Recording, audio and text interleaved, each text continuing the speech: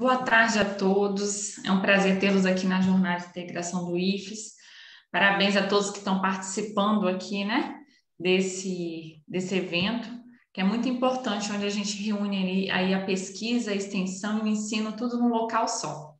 A todos que vão participar, é muito importante, né, que vocês é, apresentem aqui o que a gente vem desenvolvendo durante é, todo ano. Então, para a gente iniciar, vou passar como vai ser a, a, nossa forma de apresentação. Então, cada projeto aqui vai apresentar, terá direito né, a quatro minutos por apresentador para apresentar o seu projeto. Então, fala quem é você, de que campus você é, né, qual é o nome do seu projeto, como é que o projeto funciona e quais são os resultados que vocês tiveram aí nesse último ano, tá bom?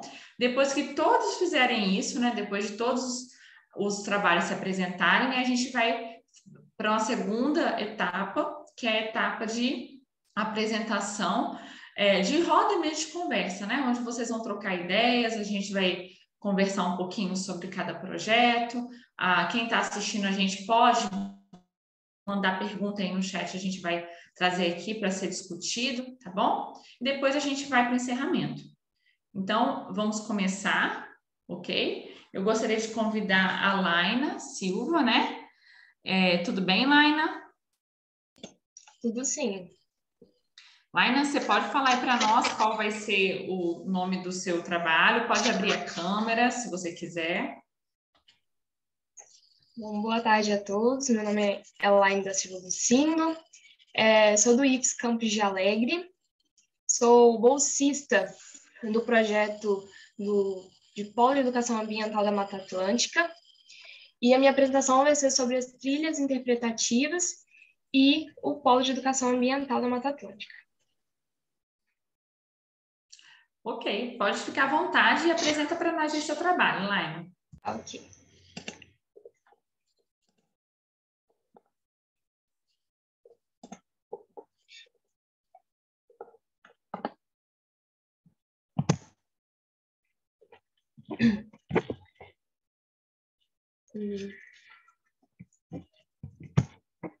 Tá dando para ver, né? Bom, uh, o Polo de Educação Ambiental da, Mata Atlântica, conhecido também como é, PEAMA, né? Uh, nós atribuímos diversas atividades uh, para poder alcançar um público diversificado, é, como alunos, professores e uma comunidade em geral. Uh, dentre ela, dentre essas atividades, a gente tem as trilhas interpretativas, as trilhas noturnas e os passeios ecológicos, e entre outro, outras atividades, né? Bom, as trilhas interpretativas, elas são a, é, trilhas que acontecem em ambiente de Mata Atlântica, com baixo e médio grau de dificuldade, tá? São, são atividades destinadas à educação ambiental e visitação, né? Possibilitando um acesso a um público diverso. E essas trilhas contam com equipamentos de segurança e um guiamento fornecido pelo PEAMA. As trilhas noturnas, elas é, são trilhas que também ocorrem em ambiente de Mata Atlântica, é, e também ele é voltado mais para um público maior de 16 anos. Tá? Ele é destinado à educação ambiental, em aulas de campo, pesquisa e entre outros. E essas trilhas noturnas também contam com equipamentos de segurança e guiamentos fornecidos pelo PEAMA. Uh, os passeios ecológicos, eles já são é, direcionados a um público mais jovem, né, crianças, onde tem caminhadas mais leves, atividades mais lúdicas e educação ambiental, onde eles possibilitam interações uh, intersociais e contato com a natureza é, de uma forma mais tranquila e agradável. Um, todas essas atividades, elas faziam parte de uma rotina né, presencial, antes da pandemia e antes dos distanciamentos sociais, né? Mas, entre, entrando em vigor a pandemia e essas ocorrências, nosso projeto teve que se adaptar a essa nova situação e a um novo formato utilizando ferramentas uh, virtuais para ter uma comunicação entre o PEAMA e a comunidade, interna e externa, é, com o objetivo de promover um debate em formato de mesa de debates, né, com hum. atividades é, com mediadores e participantes convidados, né, nós do projeto PEAMA, a gente formou uma, um projeto de extensão chamado Educação Ambiental em Foco, é, que é basicamente webinários, né, lives no YouTube, uh, que a gente transmitia pelo canal do IFES Campos de Alegre, é, sendo realizado quinzenalmente. É, como foi dito, né, em vigor da pandemia, a gente começou a realizar essas lives. É, e com isso, a gente foi usando os métodos virtuais, é, materiais atribuídos em formato digital. É, nosso meio de divulgação ao público, a gente foi através de cartazes virtuais, uh, compartilhamentos via WhatsApp, via Facebook, via Instagram e YouTube. E, e os demais redes sociais. É, em cada live, é, a gente observa que os debates, é, olhando assim com um olhar avaliativo, notamos que cada tema que a gente abordava em cada live, a gente tinha é, interações é, entre os entrevistados e os telespectadores, né? Uh, e a gente percebia que a gente conseguia atingir tanto o público mais velho quanto o público mais jovem. Bom, antes de qualquer live, a gente, nós do projeto PEAMA, com o nosso orientador, junto à equipa, junto à equipe, a gente, antes de qualquer decisão, a gente se reunia, nosso orientador chamava a gente para uma reunião via Google Meet, para a gente tomar alguma decisão e assim a gente, a gente ficar ciente do que iria ocorrer, né? E assim nós ficamos, é, se alientarmos dos próximos eventos, assuntos e atividades é, do projeto PEAMA para o público.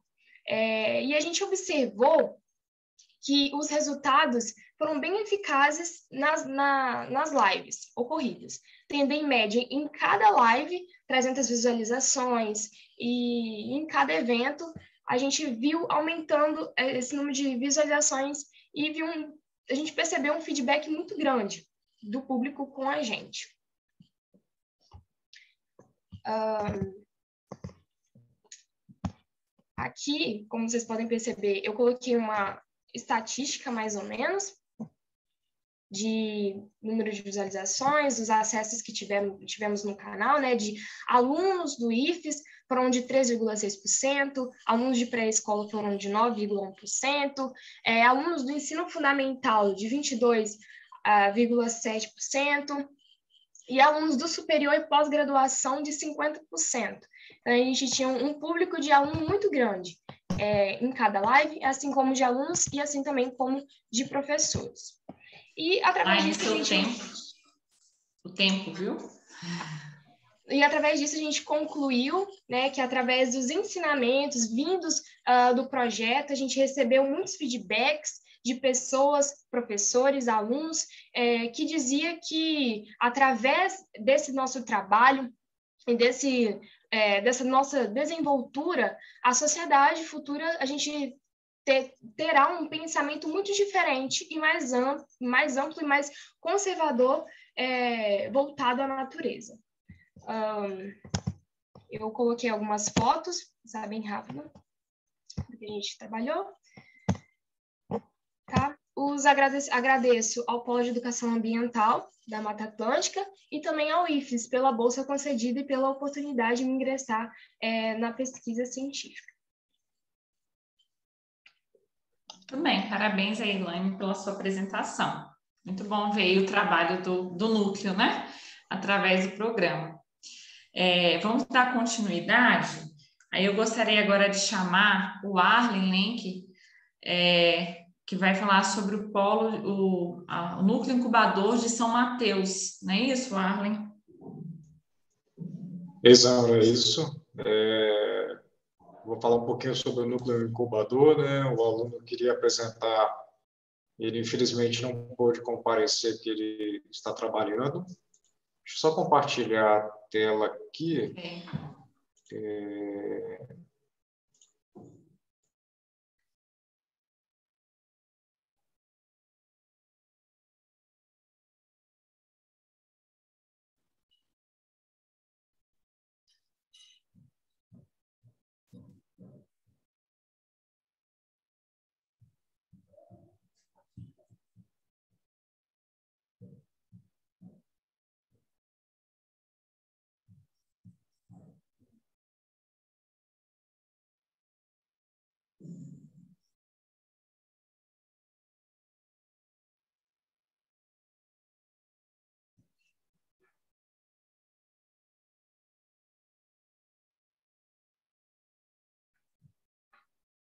Estamos vendo a apresentação, Arley.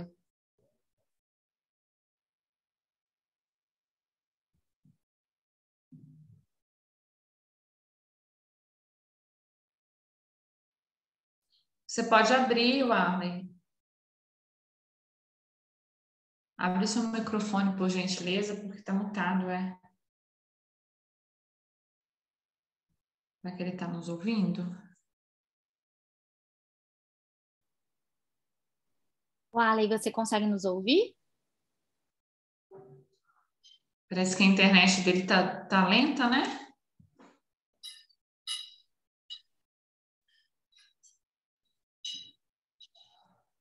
Ele tá falando, acho que ele não tá ouvindo. Eu estou solicitando a ele que abra o microfone.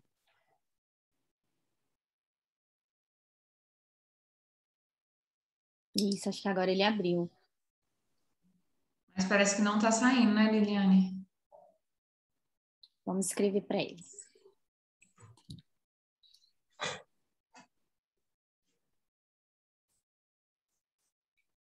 Warley, você nos ouve? Warley?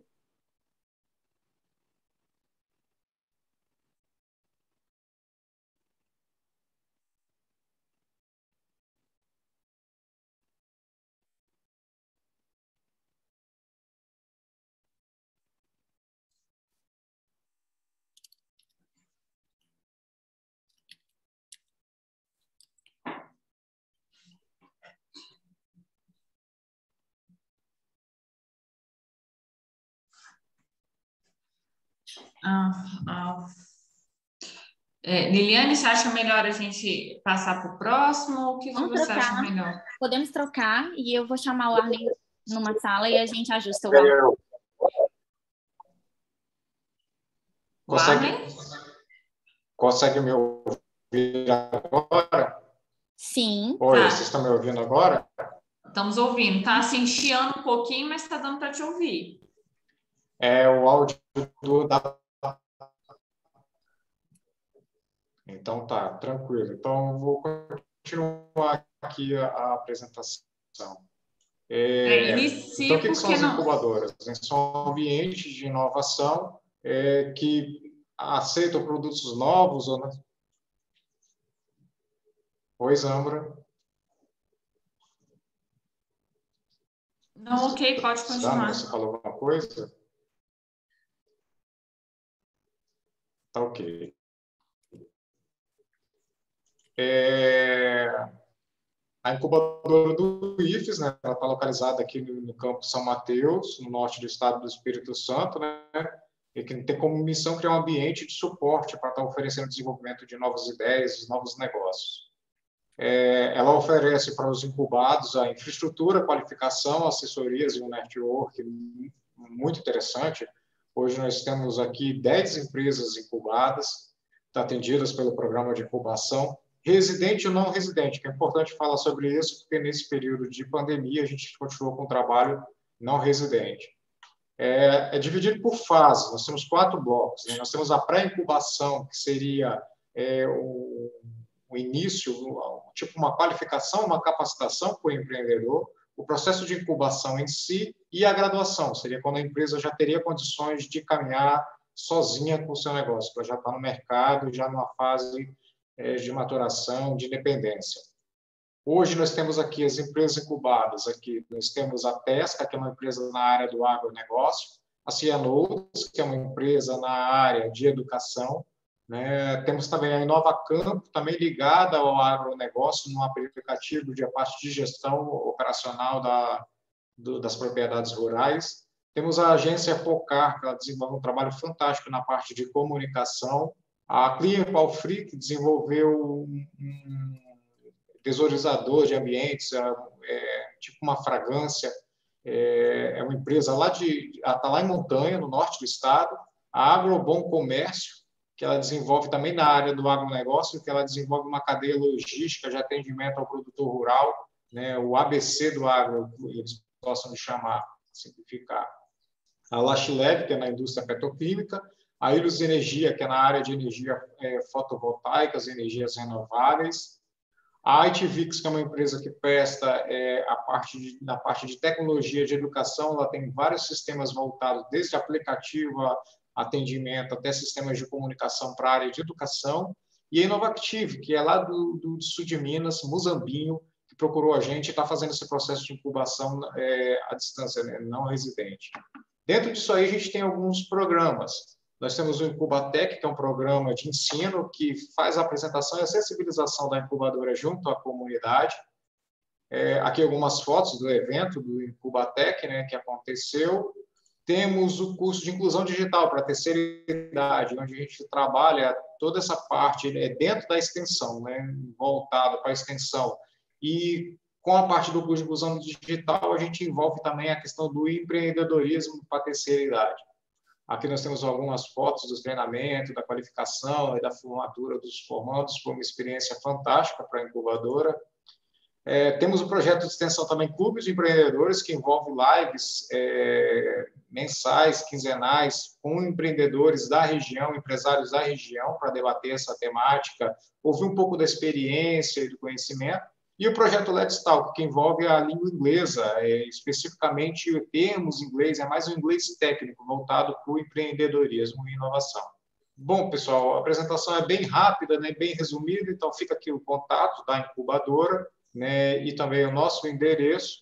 Aguardamos, se for possível, a visita de vocês para tomar um café com a gente, conhecer um pouco mais do trabalho que é desenvolvido aqui na incubadora. Muito obrigado, Arlen. Muito legal Conhecer um pouquinho aí do programa. Samara, ainda tem tempo? Tem.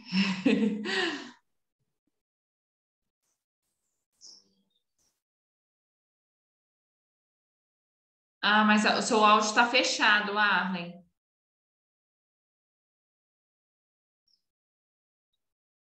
Ixi, o áudio dele sumiu de novo. Sumiu de novo, exatamente. Mas ele não está mais é, minha conexão não está ajudando muito. É. Mas a gente agradece, o Arlen, a sua apresentação. Não, só falar isso, né, que a incubadora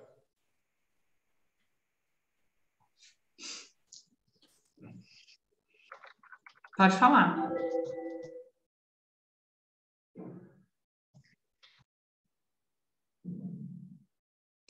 Ok, acho que a internet dele não está legal. Pessoal, então vamos dar continuidade aí com o próximo pro, projeto, né, a ser apresentado. É, aí eu queria confirmar agora a experiência do Núcleo de Educação Ambiental e Agroecologia do campus de Itapina. É o Leonardo? Não, é o Alexandre. O Alexandre, isso. isso. Muito, seja muito bem-vindo, Alexandre. Muito obrigado. É, eu vou deixar a câmera fechada porque a internet aqui está bem ruim, está chovendo bastante aqui em Tarana, e eu já uhum. saí duas vezes da sala por conta da conexão. Ok. Ok? Ok. Então, vamos lá, boa tarde a todos. É, vim aqui para falar um pouco do NEA, né, do Núcleo de Educação Ambiental e Agroecologia do campus de Itapina, é, que a gente tem um espaço privilegiado, né, porque dentro de um campus agrícola, a gente trata educação ambiental com uma preocupação de arranjos produtivos mais sustentáveis, trabalhar a educação ambiental no sentido transdisciplinar. E o objetivo do, do, do nosso núcleo é, é simplesmente fortalecer é, potencializar ações que já vêm sendo, já tem, já estão em execução e fomentar novas possibilidades de produção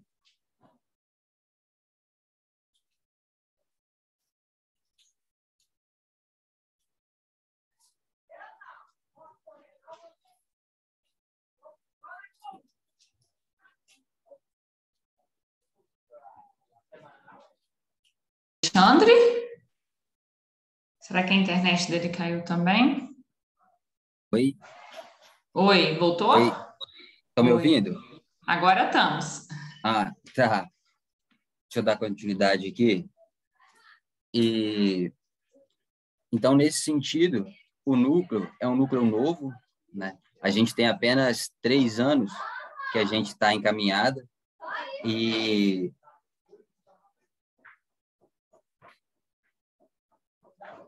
a gente já tem feito algumas ações, né?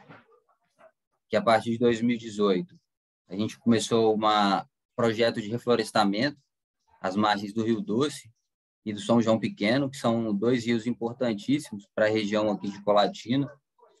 É, e nesse processo a gente também conseguiu fazer o, o encontro de educadores da rede IFES, onde a gente teve participantes de diversos locais Tivemos nomes importantíssimos para fazer a apresentação dessa linha de trabalho que a gente já vem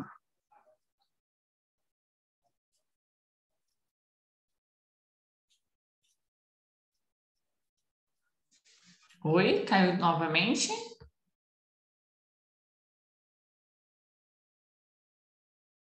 Oi.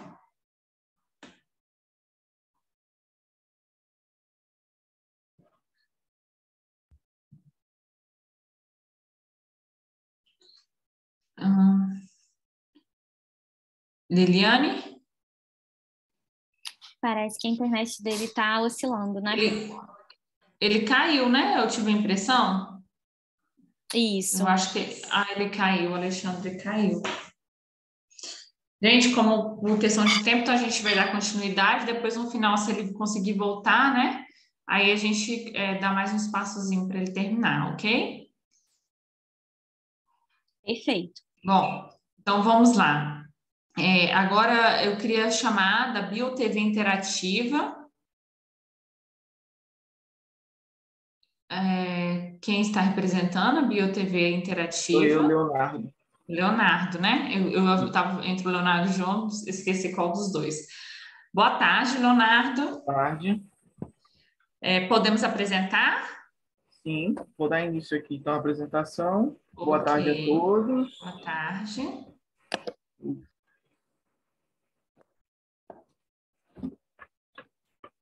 Eu vou abrir só a apresentação e compartilhar.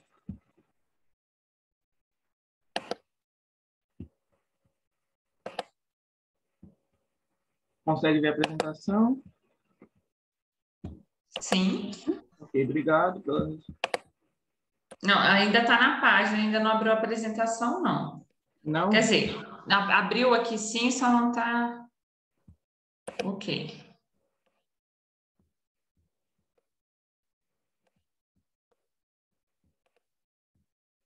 Tem modo de apresentação? Posso? Pode começar. Ah, é, boa tarde a todos. Vou falar um pouco sobre a BioTV Interativa. A BioTV Interativa é um projeto já tem uma longa, um, alguns anos de atuação, um projeto que vem desde 2017, criando novas tecnologias de aplicação de educação ambiental, que foi por meio da, da reciclagem de lixo eletrônico, principalmente, que é televisores de tubo, que hoje em dia tem as televisores é, de plasma, LCD, entre outros, que aí é, com, com isso vem descartando as televisores de tubo em locais indevidos, por, por, mais por falta de conhecimento da população. E com isso surgiu o projeto de reciclar essas, essas televisores, formando aquários sustentáveis, que seria a utilização também de cerâmica, que seria jogado no lixo, e televisores antigos, de tubo, formando a, a aquário sustentável, integrando com a comunidade local e com instituições de educação, principalmente, ou outras instituições. O projeto ele vem sendo aprimorado desde 2017, onde a gente começou com simples é, monitores de computadores antigos, depois televisores de tubos maiores, que foram os aquários maiores, que são mais aceitos hoje, e hoje estamos com, com, com um projeto de uma, é, uma integração com uma, uma mini companhia, onde com esse projeto consegue diminuir a, manutenção do aquário, ficando várias semanas, meses sem dar manutenção ao aquário, só repondo a água. Essa foi a evolução do projeto. Então, mesmo com a pandemia e outros fatores, o projeto veio vem atuando e vem é, percebendo que ainda há uma grande descarte de lixo eletrônico indevidamente em locais impróprios, em lixo comum mesmo, onde o caminhões de coleta de lixo não fazem essa coleta porque o lixo é um lixo reciclado e um lixo que deve ser é, destinado para um local adequado.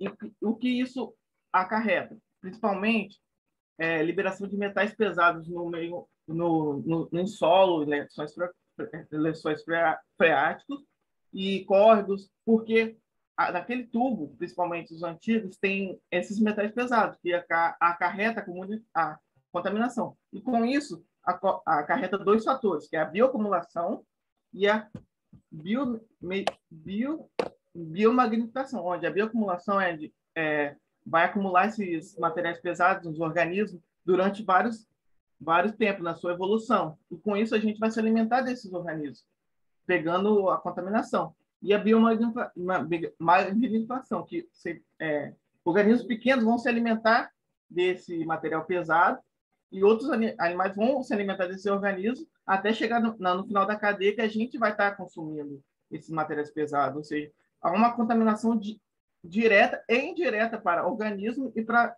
a própria população é, decorrente desse descarte.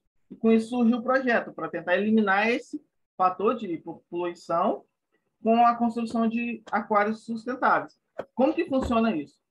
A gente faz o recolhimento desses lixo eletrônico e com o decorrer do projeto, pessoas começaram a doar o lixo eletrônico, as televisões antigas para fazer o aquário. Esses equipamentos são levados levados para o IFES, onde é retirado a parte eletrônica, o tubo, que é destinado para o local certo, e a carcaça, que é a parte de plástico do, do, do da, dos televisores, é feito uma adaptação para construir dos, da, das BioTVs, que é o aquário sustentável. Tá, onde a primeira parte, onde a gente vai na comunidade, pegar esses televisores, tem a participação, o segundo a gente leva para o IFES, que é Alegre, aonde a gente vai fazer a desmontagem e a destinação correta do, do lixo eletrônico. A terceira parte é a montagem, onde a gente monta a parte interna, que é o aquário, que é de vidro. A gente faz para aquários maiores, com televisões maiores, são feitos to totalmente de, vidro. Esse aquário é montado pelo alunos do projeto, que sou eu, mais outros voluntários. E a terceira parte é onde a gente destina as escolas, que são parceiros. E com isso tem a parte tá, tá dando é um eco. Tem algum outro microfone aí perto de você? Não. Microfonia? Seu celular está próximo? Não, meu celular está desligado. Só tem um microfone de computador. Parou. Creio que o barulho está cessado agora. Eu peço que todos os participantes também verifiquem se tem alguém com algo aberto ou com algum dispositivo próximo da, da transmissão. Parou.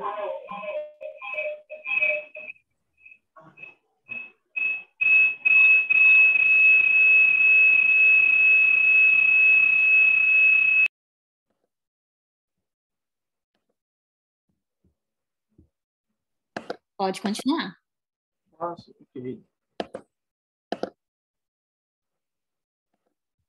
Vamos lá. E na quarta parte, a gente leva esse, essa BioTV para escolas parceiras, instituições parceiras, onde a gente tem asilo, temos em casa de passagem várias escolas de educação infantil e também ensino médio, onde, além da, da, da questão do da, da, o aquário, que é um, um sistema de terapia, também tem a participação de, dos alunos com atividades de, de é, com o núcleo ambiental, onde você pode integrar os aquários com na parte ambiental da escola, podendo fazer atividades interdisciplinares. E com isso nós tivemos vários resultados. O projeto na última fase, que foi desse ano, que é 2020 para 2021, a gente ganhou a premiação em primeiro lugar pela Educação Farol do Bem, é, realizado pelo síndico. A gente tem, mesmo com a pandemia, a gente conseguiu voltar os aquários para as instituições, onde tinha todos parados por causa dos decretos. A gente conseguiu voltar com esses projetos e ampliar os projetos com participação. E a montagem de novas BioTVs, mesmo com a questão da, da pandemia. A gente conseguiu montar outras BioTVs e integrar as, as instituições. Esse último é onde a gente está com a conclusão até do projeto, que conseguiu integrar várias atividades na, no, nas atividades curriculares da escola, onde a professora fez várias visitas ao aquário, levou as crianças e conseguiu mudar muita ideia de crianças em, onde que elas podem relatar que os pais jogavam televisão no, em lugares é, incorretos e com isso começou a uma demanda muito grande do projeto. O projeto vem crescendo bastante. Já temos mais quatro anos, já é o quarto ano do projeto. E com isso a gente tende a aumentar e levar para mais mais instituições levar essa educação ambiental de reciclagem. É isso. Essas são as redes sociais para é, para divulgação. A gente divulga bastante as atividades em todas as redes sociais. É isso. Leonardo, muito bom. Que trabalho lindo, que trabalho bonito mesmo, né? Muito bom saber aí é, que existe esse trabalho. Aí daqui a pouco a gente vai conversar mais um pouquinho. Parabéns pela apresentação. Agradeço. Ok? É, continuando, pessoal, eu queria ver se o pessoal do Lampex é, chegou. Tá todo mundo aí? Consegue apresentar? Eu estou aqui. Carlos, pode ser você mesmo, então? Sim, o Gabriel também está aí. Eu ah, está aí? Ok. Vocês podem abrir os dois, tá? A câmera. Eu não sei qual de vocês, vocês vão ter alguma apresentação, só vão. Só vão. Fazer é, vai? Ok. Um minuto.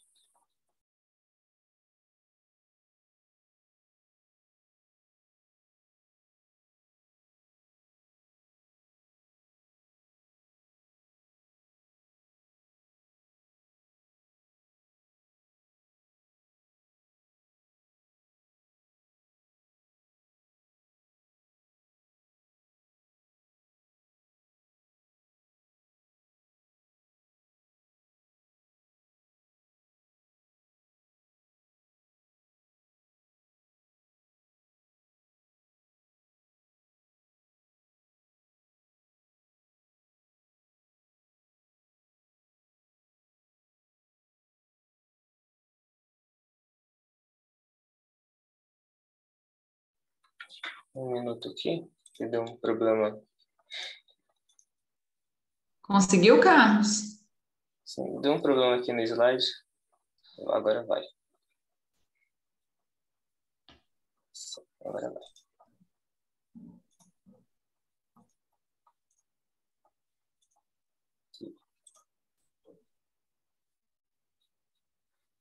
Acredito que está aparecendo. Está.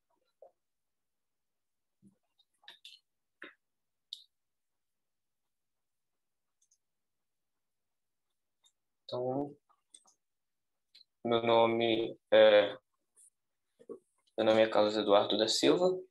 É, eu sou do curso técnico de mecatrônica do IFES Campus Serra e eu vou apresentar agora o, o projeto Laboratório Modelo de Práticas de Extensão, também pode ser chamado pela sigla LAMPEX, que foi teve a participação dos, é, dos alunos bolsistas Gabriel Vitor e Carlos Eduardo, que sou eu, também contou com a ajuda de alguns voluntários e uh, de, dos professores orientadores Emanuel e Bruno Coutinho.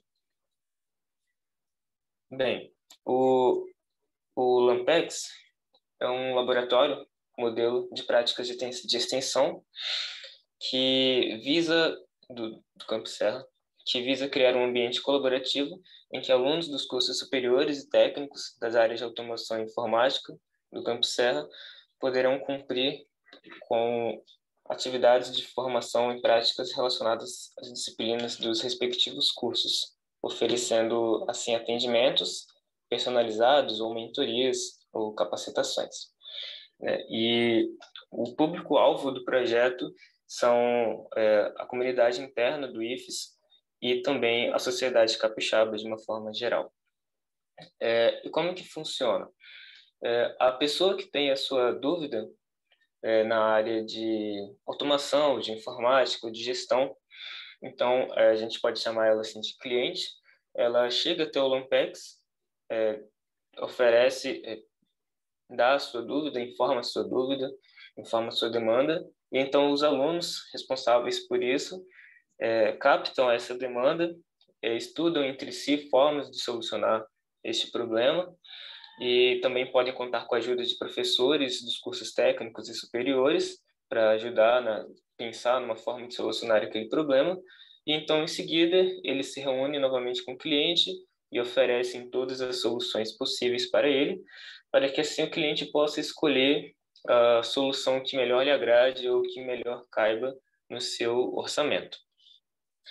É, então, as atividades que foram realizadas neste ano de 2021, que foi o ano de, de atuação de fato do projeto, foram as, essas três áreas, basicamente, né? atendimentos personalizados, e aí abarca as áreas de, as sub-áreas de informática básica, que tem relacionado editores de texto, editores de planilhas, editores de, de slides, apresentação, programas, aplicativos, sistemas operacionais. Também tem a sub-área de redes de computadores, sub-área de hardware, que se a pessoa tiver alguma dúvida sobre a aquisição de algum componente de um computador ou até mesmo saber a diferença entre computadores na hora de fazer uma compra ou alguma dúvida mesmo. E também é, na sub-área de armazenamento de computador e telefone, que contempla aí o armazenamento interno ou armazenamento em nuvem, também como o Google Drive e o OneDrive. E aí também teve é, o projeto atuou na área de monitoria é, em linguagem Python, ajudando alguns alunos do curso Campus Serra, principalmente, na em solucionar algumas dúvidas sobre é, programação em linguagem Python. E o projeto também atuou fazendo mini cursos um mini curso de planilhas, é, e aí é, planilhas em geral, né, Excel ou é, Google Planilhas. Então, como resultado que obtivemos foi que no total de janeiro a setembro, no período de janeiro a setembro de 2021, foram realizados 63 atendimentos, sendo sete, sendo que sete foram é, na, na área de atendimentos personalizados e 20 atendimentos foram com relação à monitoria em Python e os outros 36, por, 36 atendimentos foram com relação ao mini curso de planilhas. E também, além disso, o projeto já foi aceito no, no edital PAEX 2021, então ele tem prosseguimento e no ano de 2022 ele também estará atuando.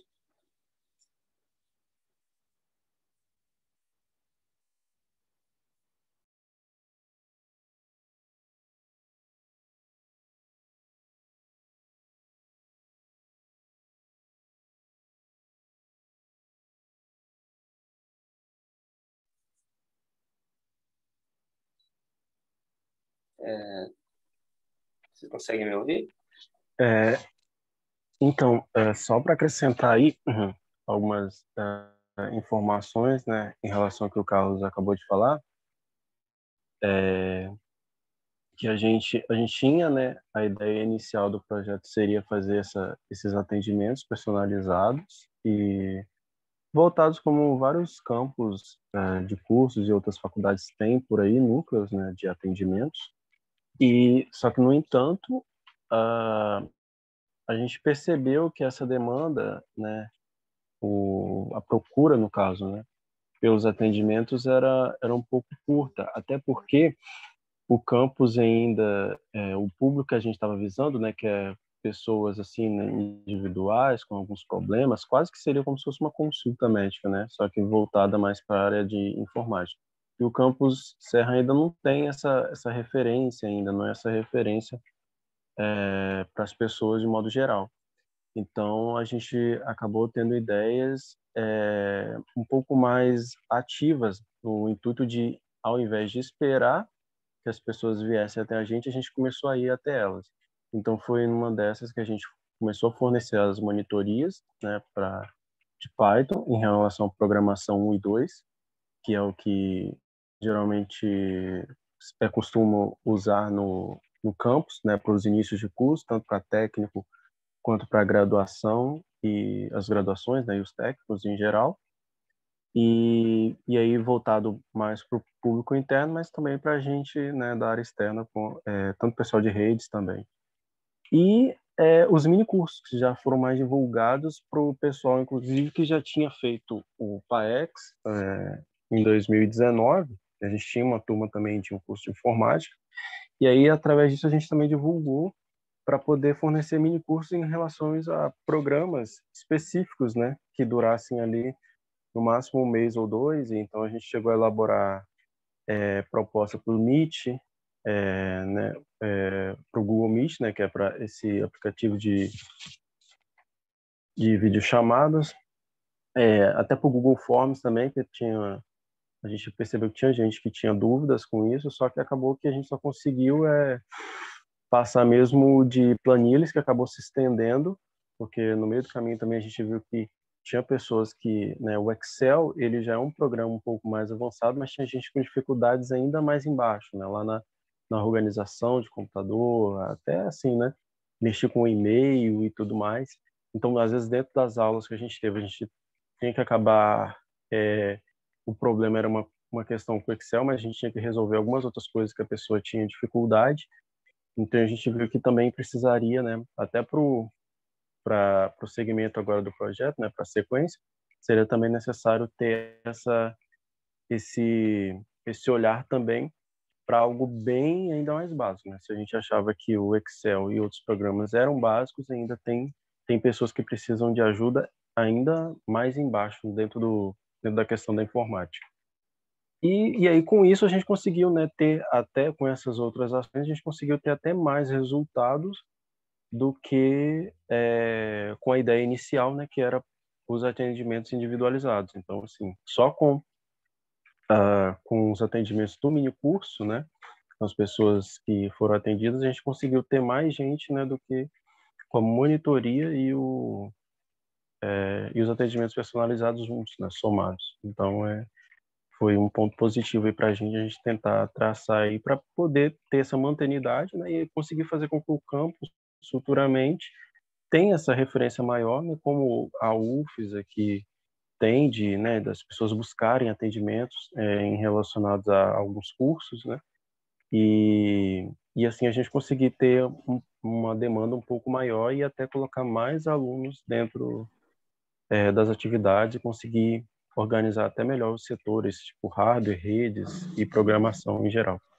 Acho que é isso. Ótimo. Muito bom. Obrigada aí pela apresentação, muito interessante também o trabalho aí que vocês estão desenvolvendo. É, aí, continuando agora nossas apresentações, eu queria ver, porque estava faltando, eu não sei se chegou a, a pessoa do. Deixa eu ver aqui, quem estava faltando.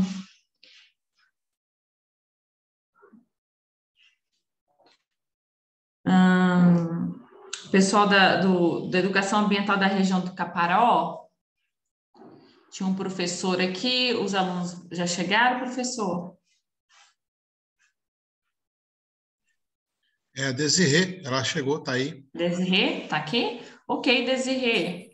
Boa tarde. Oi, boa tarde. Consegue me ouvir? Conseguimos. Ah, que bom. Pode liberar a apresentação já, viu? Tá joia. Você consegue abrir aí? Tá dando certo? Isso foi. Ok.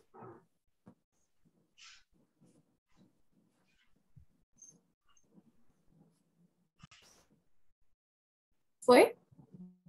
Tá vindo. Só gostaria de lembrar que quem está nos assistindo, né, lá pelo canal ao vivo, se quiser deixar pergunta, nós estamos acompanhando aqui no chat e agora na segunda parte nós vamos fazer essa pergunta para todos os participantes. Pode apresentar, Desirê. Desirê, coloca no modo apresentação aí. Faz um favor. Uai, não foi, não? Não, tem, é, na tela aí do, do programa, coloca só o slidezinho lá embaixo.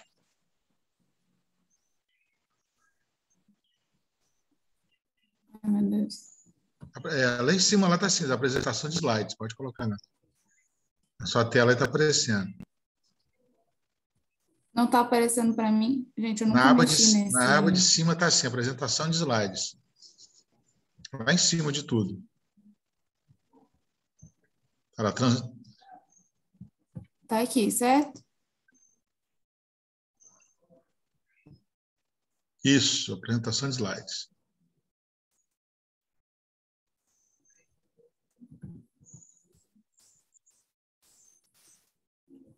Foi?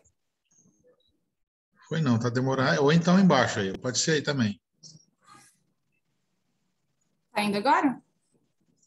Não Porque veio não. para só- para mim abriu. Uai, gente. É, tudo bem, vai, é, vai, vai por aí mesmo, não tem problema não.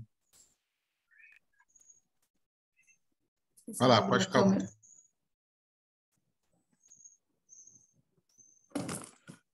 Ih, minha câmera tá muito boa, não. Gente, boa tarde. Desculpa aí a confusão, que nunca usei esse, essa plataforma. É, o, nosso, o nosso projeto né, foi a realização de palestras, cursos e oficinas né, de capacitação e formação de multiplicadores em educação ambiental na região, nossa região, né, do Caparaó.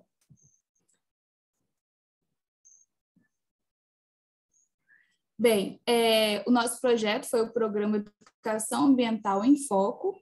A gente realizou uma série de webinários, né, pelo canal do, do IFES, de Alegre, no qual a gente fez uma série de, de formatos, né, que são é, webinários, seminários online, em formato de mesa de debate.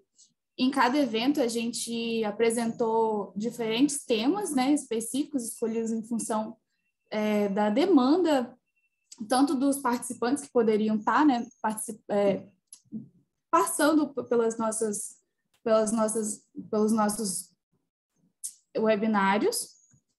É, o objetivo do nosso projeto foi a realização e a capacitação em educação ambiental para os públicos diversos, aprofundamento né, do debate em torno da educação ambiental e também, principalmente, contribuir com a sensibilização de estudantes, profissionais, é, de lideranças comunitárias e entre outros grupos de, de sociais de interesse nessa temática. Bem, a metodologia né, foi basicamente adotada assim, é, pelo depoimento dos convidados em relação às suas experiências em educação ambiental e abordando né, é, as temáticas a elas associa associadas, principalmente quanto, a, quanto à re relação homem-ambiente e os seus desdobramentos, perdão, é, de acordo com, com a experiência de cada convidado.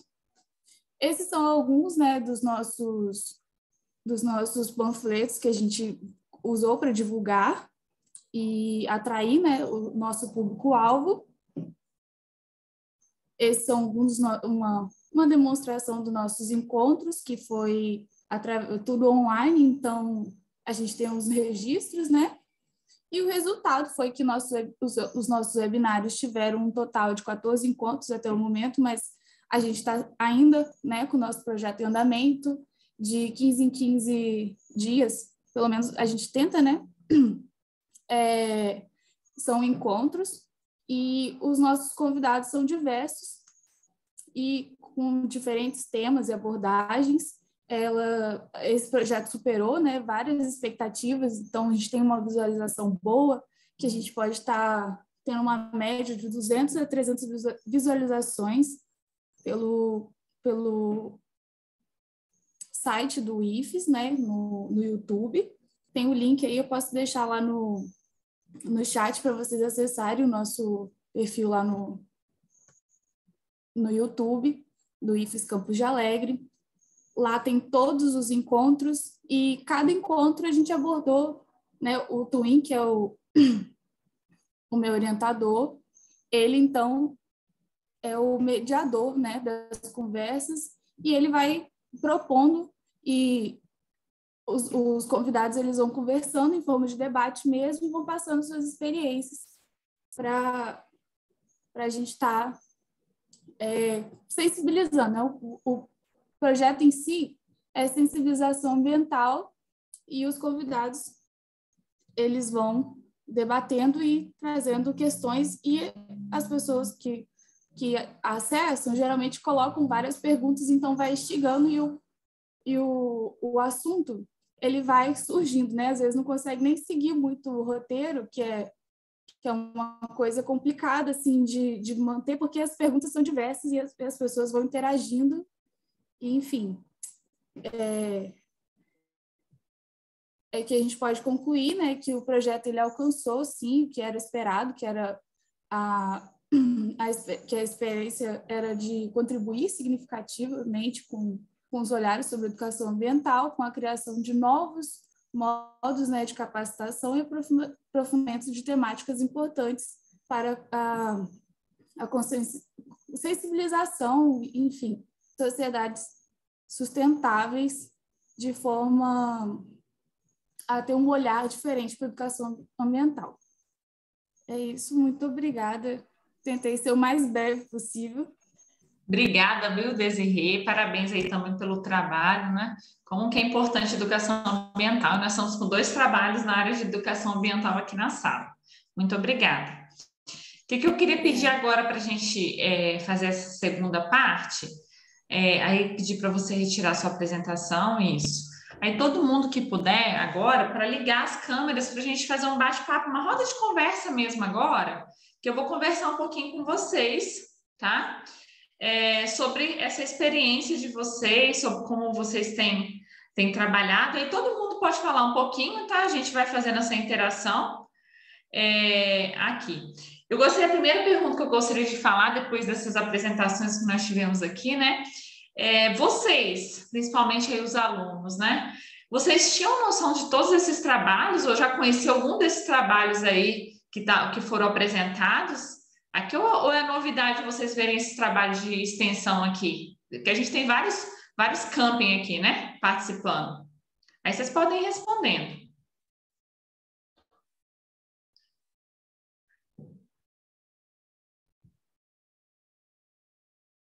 Pode começar alguém aí. Desirê, oh, Desirê não, Zambra, desculpa, é, minha internet caiu, eu não consegui terminar a apresentação. Só queria fazer uma síntese breve é, do que é o núcleo, né? Do Núcleo de Estudos em Meio Ambiente e Agroecologia, que é o NEAA. Algumas ações que a gente vinha, vinha fazendo, que no caso é um reflorestamento entre a, as margens de dois rios muito importantes.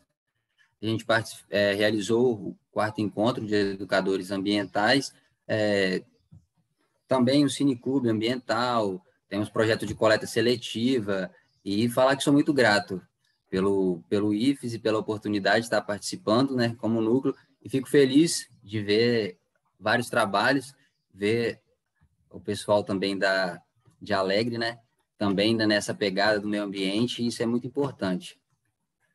Obrigado. Obrigada, Alexandre, por concluir. Tinha até esquecido. Obrigada por você lembrar aqui. É, o Alexandre falou aí que ele gostou de ver outros núcleos né, que estão envolvidos aí com, com a questão do meio ambiente. Alguém mais gostaria de falar uma experiência que teve aí, de conhecer um projeto? Eu, particularmente, estou bem encantada também com o BioTV, né? Eu achei muito interessante a forma que eles estão fazendo, né? Não sei vocês, mas é, é, tem várias é, oportunidades aí da, que tem a ver com o meio ambiente também, né? Essa questão do BioTV e vocês.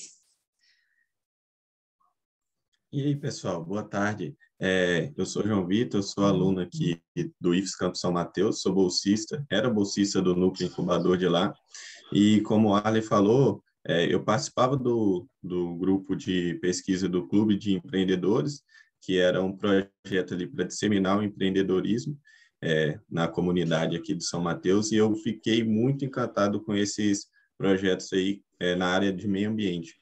É, não conhecia essa pegada dos outros núcleos, é, eu não conhecia nenhum desses projetos. É, como a Zamora falou, esse da BioTV me encantou bastante, um projeto muito interessante, e quero deixar meu parabéns por todos esses projetos aí. Obrigada, João Vitor. Quem mais quer falar? Carlos, Bruno, Laine. Laina. Não, Laina. É, vou concordar com você e com o João Vitor, também fiquei encantada com o projeto BioTV. É, primeira vez que eu ouvi falar, e assim, é muito gratificante ver uma, uma coisa assim que, que poderia fazer tão mal ao meio ambiente sendo transformado em uma coisa assim tão que é favorável a, a ele não é, venha acarretar problemas futuros, enfim, preservando. Então, eu, sinceramente, fiquei muito encantada com esse projeto, não só com esse, mas com os outros também. Só isso que eu tenho que falar. Que legal. Mais alguém? É, tenho a agradecer a, as palavras de todo mundo. Eu mesmo, como sou integrante do projeto, também fico encantado com a ideia, porque, uhum. além de tudo mais, é um projeto da minha área, que eu sou engenheiro de faço graduação em engenharia de agricultura, trabalho com a questão de animais aquáticos e também com a participação com a comunidade. É, a aceitação do projeto nas escolas é muito grande, o pessoal adora o projeto. A questão do aquário, as crianças amam os peixinhos, bota nome nos peixinhos, faz um montão de, de interação com as, o aquário. O projeto tem um retorno muito grande da comunidade em si, uma demanda muito grande de pessoas querendo, e a gente tem, tem, tem vezes que não dá conta de atender todo mundo, tanta demanda pela aceitação do projeto. A ideia é muito incrível, eu fico encantado. Muito, muito legal. O Arlen, quem sabe isso não dá até para virar um startup, hein? Startup do, do aquário. É um projeto bacana, né? Original, muito original e criativo.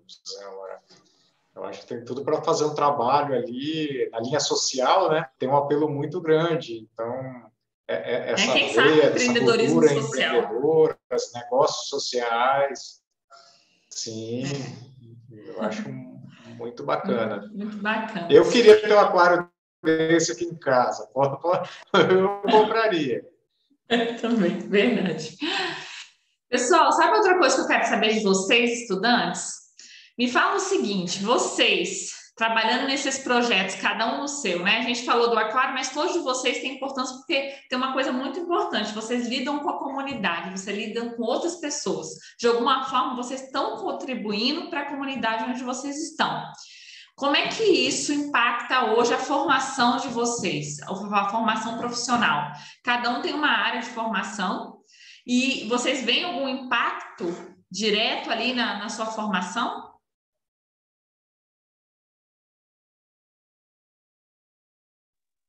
É, eu vou começar a falar aqui que eu acho que para mim tem sido um impacto muito grande.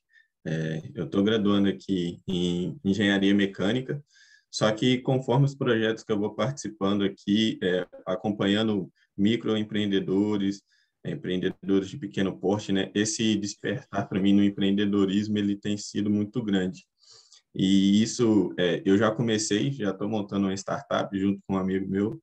Então, isso aí para mim tem esses projetos que eu tenho participado têm mudado bastante meu meu jeito de pensar e meu futuro, o que que eu quero para mim, o que que eu quero levar para mim. Que bom, que bom. Quem mais? Carlos, Bruno, Gabriel. É, ah, então, né? Desde o desde o projeto Lampex, porque esse já é meu segundo projeto é, que eu estou fazendo pelo IFES, né? E o primeiro já visava essa questão de de aulas, né, e esse contato com a, com a comunidade, é uma como é que posso dizer? É uma vertente é, bem diferente do que boa parte das pessoas, do, dos alunos né, do campus, principalmente do meu curso, é, vão ter contato. Porque como o BS é muito focado para a parte prática, então, assim, ou seja, é você ficar dentro de um local fechado, programando ali, né, limitado a poucas pessoas, então, esses os projetos em si estão dando, pelo menos para mim, né? E eu acho que o Carlos e quem já participou, é dar a oportunidade de a gente ter outro tipo de visão é, relacionada a algo que não seja necessariamente a nossa vertente do curso. Que o meu, por exemplo, como é, é bacharel, muito provavelmente eu não teria é, esse tipo de experiência de, de até me colocar mesmo como no lugar de um professor, né? Que tem essa questão de elaborar a aula. É, no Lampex, é, no, no PAEX 2019, eu tive que também ficar a cargo dessa questão de é, das inscrições, né, do pessoal mesmo, meio que me colocando muito na questão da secretaria, tipo, que às vezes recebe informações, é, os documentos, a gente tinha que olhar para poder passar é, para fazer a matrícula. Então, assim, a gente meio que consegue ocupar é, funções de pessoas que estão no nosso processo de formação ali, né?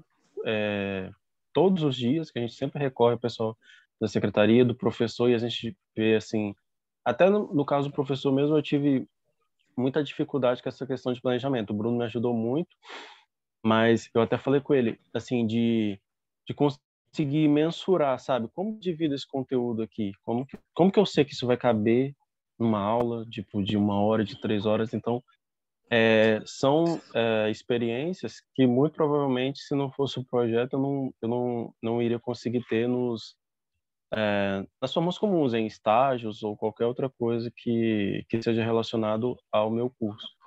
E, além disso, o, o, contato com a comunidade no primeiro projeto foi muito importante que o Bruno até me levou, né, na escola que foi atendida, no bairro, né, e, assim, você ter, é, ver como que as oportunidades também não são as mesmas para todo mundo, como que tem várias, tipo, tem várias questões, né, que afetam, a gente conversou com a diretora da, da escola.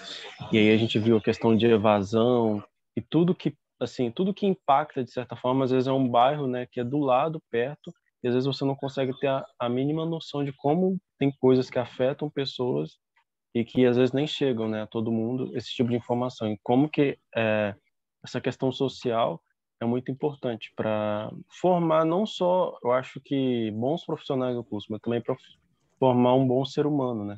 e práticas um pouco mais empáticas nesse sentido. Isso, é, acaba que você vira um multifuncional, né? Você aprende um, de forma rápida várias funções, né, Gabriel? Sim, sim. Exato. Okay. Mais alguém quer compartilhar, gente? Ou talvez não só compartilhar como vocês se desenvolveram profissionalmente, ou às vezes até uma experiência que vocês quiserem compartilhar, fique à vontade. É, eu concordo com o Gabriel no momento que ele fala de formar pessoas na minha área, porque eu sou de um campus, é, o campus Itapina é totalmente agrícola, né? Então, eu faço parte de um núcleo é, de estudos em meio ambiente e agroecologia, então, eu atuando hoje como técnico em agropecuária, tenho uma, uma responsabilidade, não só em produzir alimento, mas como produzir alimento. Então, é produzir alimento respeitando métodos mais sustentáveis, é, respeitando outras pessoas, outras formas de vida. Então, acaba que essa responsabilidade que é bacana, é não só pelo projeto em si, do NEA, mas é como um todo, né? Porque dentro de uma comunidade escolar, tem diversas ideias diferentes e a gente tem que aproveitar essas potencialidades e ver uma aplicabilidade, né?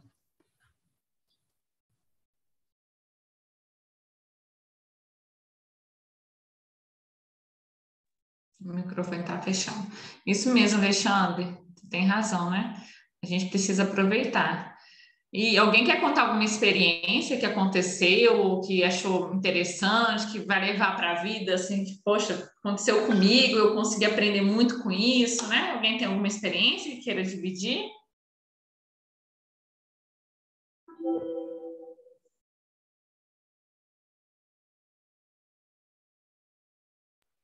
É, queria poder dar uma relata sobre a falta de desinformação onde o projeto chegou. Você consegue perceber isso, que falta muita desinformação de pessoas, de, devido também à desigualdade, a grande é, questão em relação a descarte de lixo, aonde é o lixo correto, para onde vai.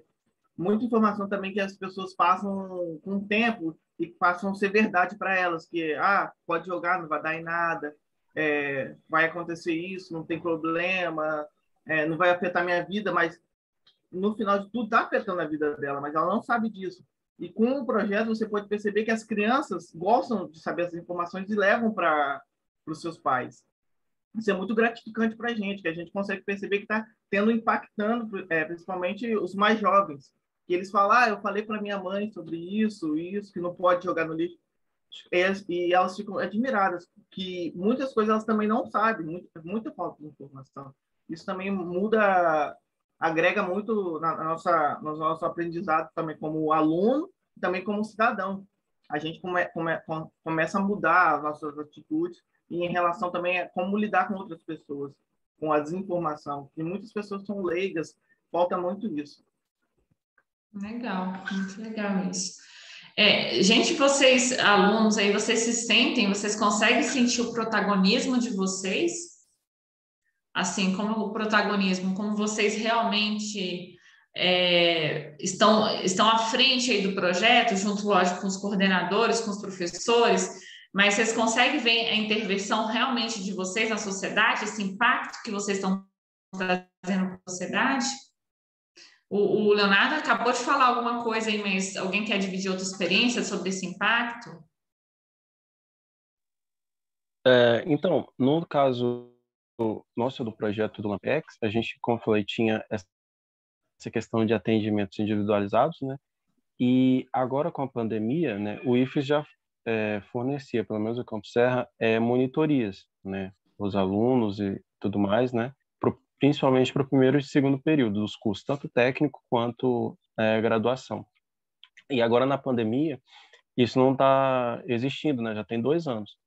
E aí com o projeto a gente conseguiu retomar é, essas monitorias é, através do meio web, né? E porque, por exemplo, a gente tem dentro do curso três períodos de, de matrícula. E nesse percurso, é, que geralmente entre uma e outra dura um mês, o conteúdo em sala já foi passado. Então a gente teve também é, alunos até do técnico que não tinham visto aula nenhuma ainda e só conseguiram obter o conteúdo. A gente não só, não, no caso não foi nem monitoria, foi aula mesmo, porque a gente ficava às vezes uma tarde inteira com, com uma pessoa, é, com um aluno dando o conteúdo que ela não chegou nem nem ver ainda na, na sala de aula porque ela tinha entrado depois. Então, isso, é, de certo modo, e assim, fazendo os exercícios, né, e também transmitindo o conteúdo, foi um impacto é, que a gente vê, tipo, a gente estava fazendo algo essencial. Além disso, teve gente também do projeto Lampex 2019 que veio é, a ser atendido no, e fazer atendimento individualizado, porque tinha montado empresa e, e aí estava precisando, sabe, de uma, uma planilha específica que fizesse tais coisas assim um pouco mais avançado, né? Porque o curso era mais básico, então foi muito positivo ver esse avanço, né? E o pessoal agora não só mais partindo daquele, principalmente do pessoal do da turma do Lampex 2019, não só mais aquelas pessoas que estavam é, passivas, né? Só recebendo conteúdo, agora já tinham conteúdo, já sabiam o que elas queriam e precisavam dessa ajuda para poder é, meio que conseguir finalizar o que elas estavam propondo para si. Muito bom, Gabriel. Muito boa experiência. Pessoal, a gente está chegando perto aí do final da nossa, da nossa roda, né? Eu gostaria de deixar agora aberto aí, se alguém quiser finalizar, concluir, finalizar com alguma coisa, para ficar à vontade. Eu olhei, não estamos com nenhuma pergunta lá, já é, no chat, na, na parte online. Mas eu deixo aberto aí se alguém desejar fazer alguma, alguma colocação, se alguém desejar finalizar, né, uh, concluir aí, fique à vontade.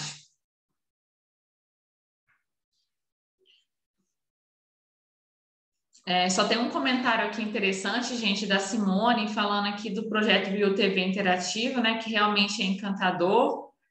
e botando aí onde a gente pode entrar nas redes sociais para poder é, acessar, tá bom? É o que a gente tem hoje agora comentado aqui. Mais alguém quer conversar, quer finalizar, falar alguma coisa?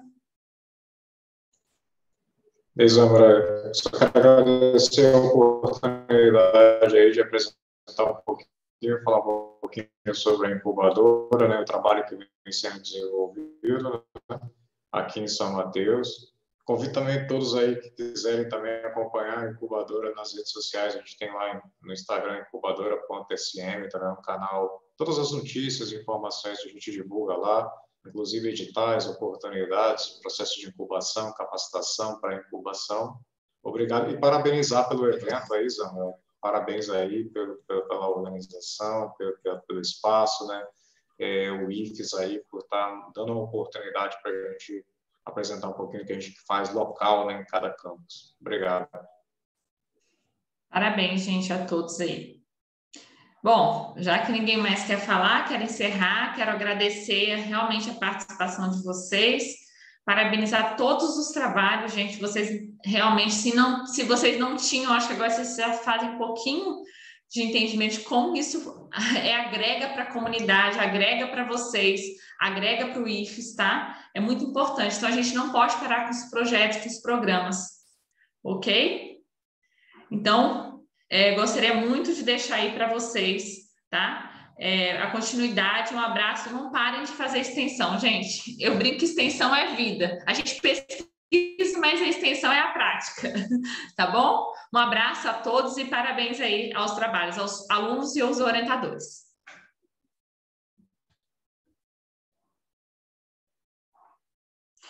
Agora vai ser usado por uma outra turma, então quem não for dessa próxima sessão é, pode se conectar, já está tudo certo. Muito obrigada.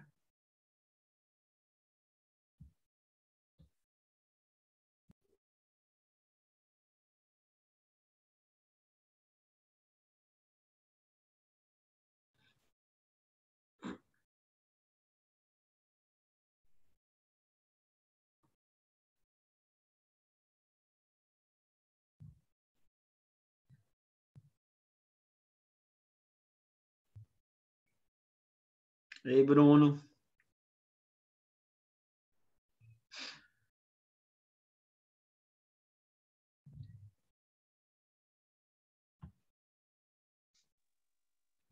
Boa tarde, pessoal. Tudo bom?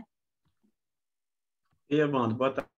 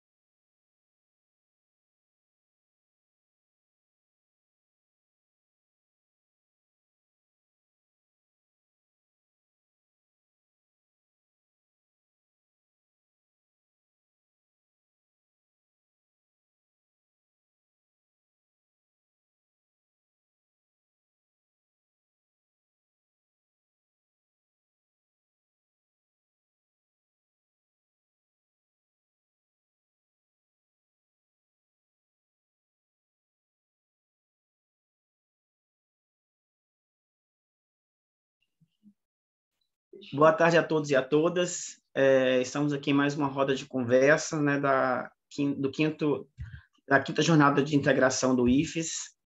É, hoje a gente está aqui com alguns trabalhos. Deixa eu fazer a leitura dos trabalhos aqui e depois eu vou pedir que vocês se identifiquem para mim, só para eu criar aqui uma ordem de, de apresentação, tá? É, hoje aqui na nossa roda de conversa nós temos a ação intitulada Programa Educa, Educa Venda Nova, Educação e Geociência na Escola, Programa Núcleo Incubador IFES Campus Itapina, Grupo de Produção Literária Pílulas de Realidade, uma proposta de avaliação multidimensional da aprendizagem de programação na formação profissional, robótica educacional para a formação técnica agropecuária. É, meu nome é Yuri, sou professor do, do IFES Campus Vitória. É, mais uma vez, sejam todos aí bem-vindos e bem-vindas. É, eu queria que vocês pudessem se apresentar e falassem também para mim a ação que vocês vão vão estar tá apresentando nessa tarde, para eu poder fazer só uma ordem aqui de apresentação. Pode ser?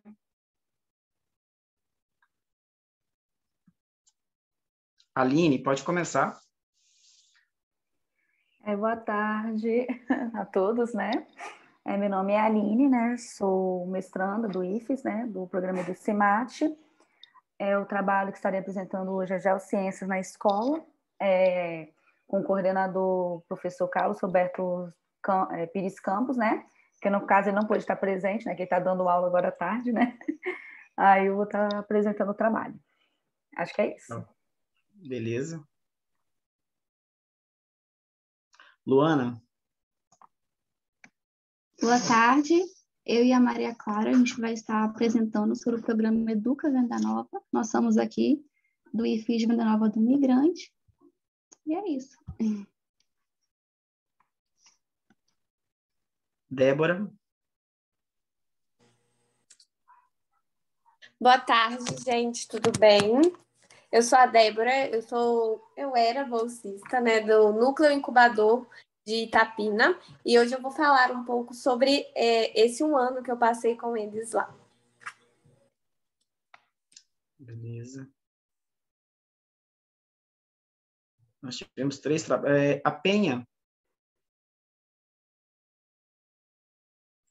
A Penha se encontra na sala. Boa tarde. Sou aluna do IFES Campus Vitória, é, do curso técnico Guia de Turismo do Proeja, e vou dar meu depoimento com o trabalho da Pílulas da Realidade. Ótimo, obrigado, Penha. É, o grupo do trabalho deu uma proposta de avaliação multidimensional da aprendizagem e programação na formação profissional. Quem são? Deve ser a Dalva, e colega. É, robótica educacional para formação técnica em agropecuária. Então, um defende uma coisa, o outro defende outra. E não, não, não, Sou eu, Yuri. Ei, boa tarde. Só um minutinho. Deixa eu fechar ali que eu estou no outro. É, aí, então, aí eu e Evandro, a gente né, conversou com você, que a gente está lá, pra, vai apresentar daqui a pouco lá. Mas aí minha, o meu trabalho é esse aí da robótica para formação técnica, técnica em agropecuária. Não, beleza. É... Vou só passar aqui algumas informações acerca da nossa roda de conversa, de como vai ser organizada, é, de como que vai ser a dinâmica aqui, né? É, nós teremos aí um limite de quatro minutos para cada apresentador, né, para falar do seu plano de trabalho, de acordo com a sua ação. É, a gente vai pedir né, que no começo da apresentação você possa se identificar mais uma vez, junto com o seu projeto, o nome dele. É, e aí, após a, a, toda a apresentação de todos os trabalhos, a gente passa por uma outra etapa né, aqui da roda de conversa, em que a gente vai abrir aqui o espaço né, para a possibilidade de interação entre os participantes, né, para que a gente possa dialogar, possa até porque o, o, intuito né, desse ambiente aqui é fazer mesmo essa roda de conversa, trocar essas informações, trocar as experiências. Então a gente vai abrir aí esse tempo né, para a gente fazer esse momento é, e logo depois a gente passa para uma parte final, é, em que a gente vai encerrar aqui a nossa roda de conversa. Né? Então, é, eu vou criar aqui uma ordem de apresentação. A ordem de apresentação que eu recebi é, da própria do próprio setor né, que está organizando a jornada. Vamos começar com a ação Programa Educa Venda Nova.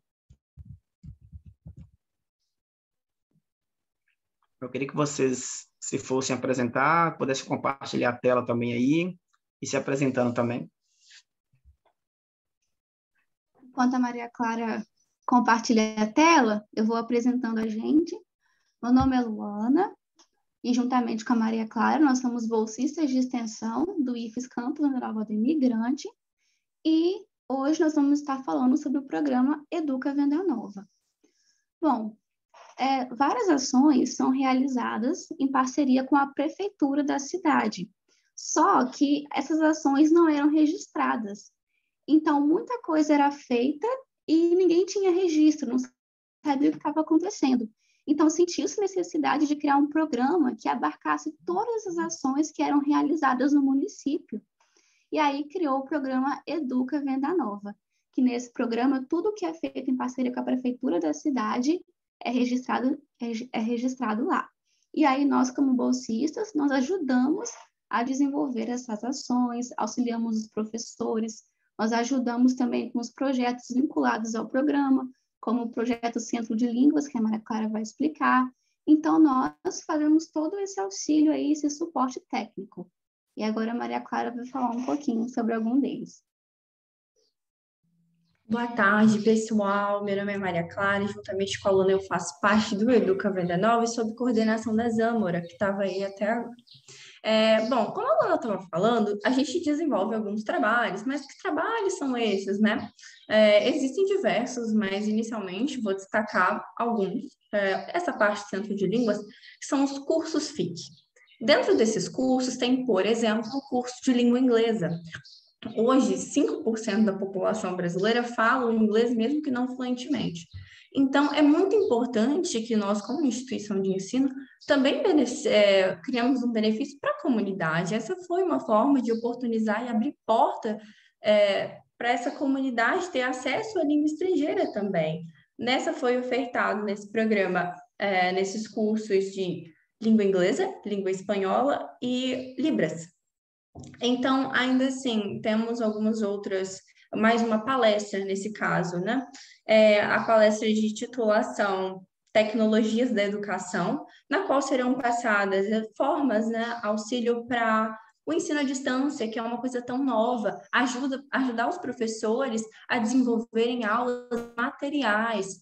Outros sim, também temos uma outra, um outro auxílio, uma outra ajuda que nós, é, por uma demanda do governo do estado, através da Secretaria de Turismo, que é uma pesquisa, uma pesquisa de público, de perfil de público dentro de uma feira lá em Venda Nova, Rural Tour. Então, nós vamos entender quem são esses consumidores, isso através do programa Educa Venda Nova já que nós atuamos na pesquisa também, né? Vamos entender quem são essas pessoas e dentro do campus criar oportunidades de a gente atuar de fato e ter a prática também dos nossos cursos técnicos. É, por fim, gostaria de apresentar um breve resumo de algumas das nossas ações, dos nossos cursos, dos nossos eventos.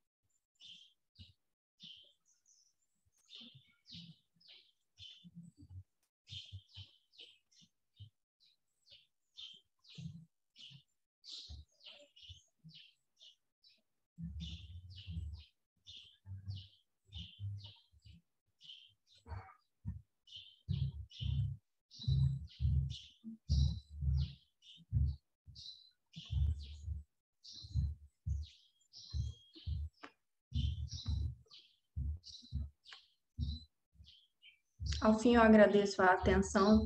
Por aqui eu encerro a minha participação nesse momento.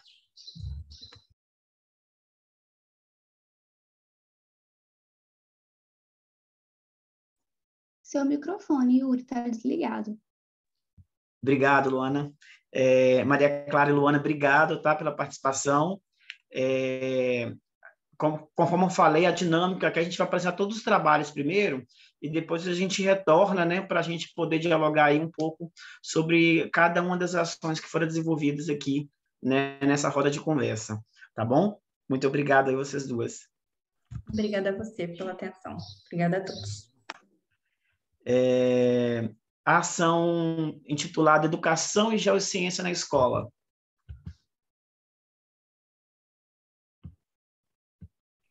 Oi, sou eu. Ei. Ó, oh, a internet está bem ruimzinha, vou tentar ligar a câmera aqui. Vamos Tranquilo, Aline. Se não travar, É você né? sozinha, Aline, que vai apresentar?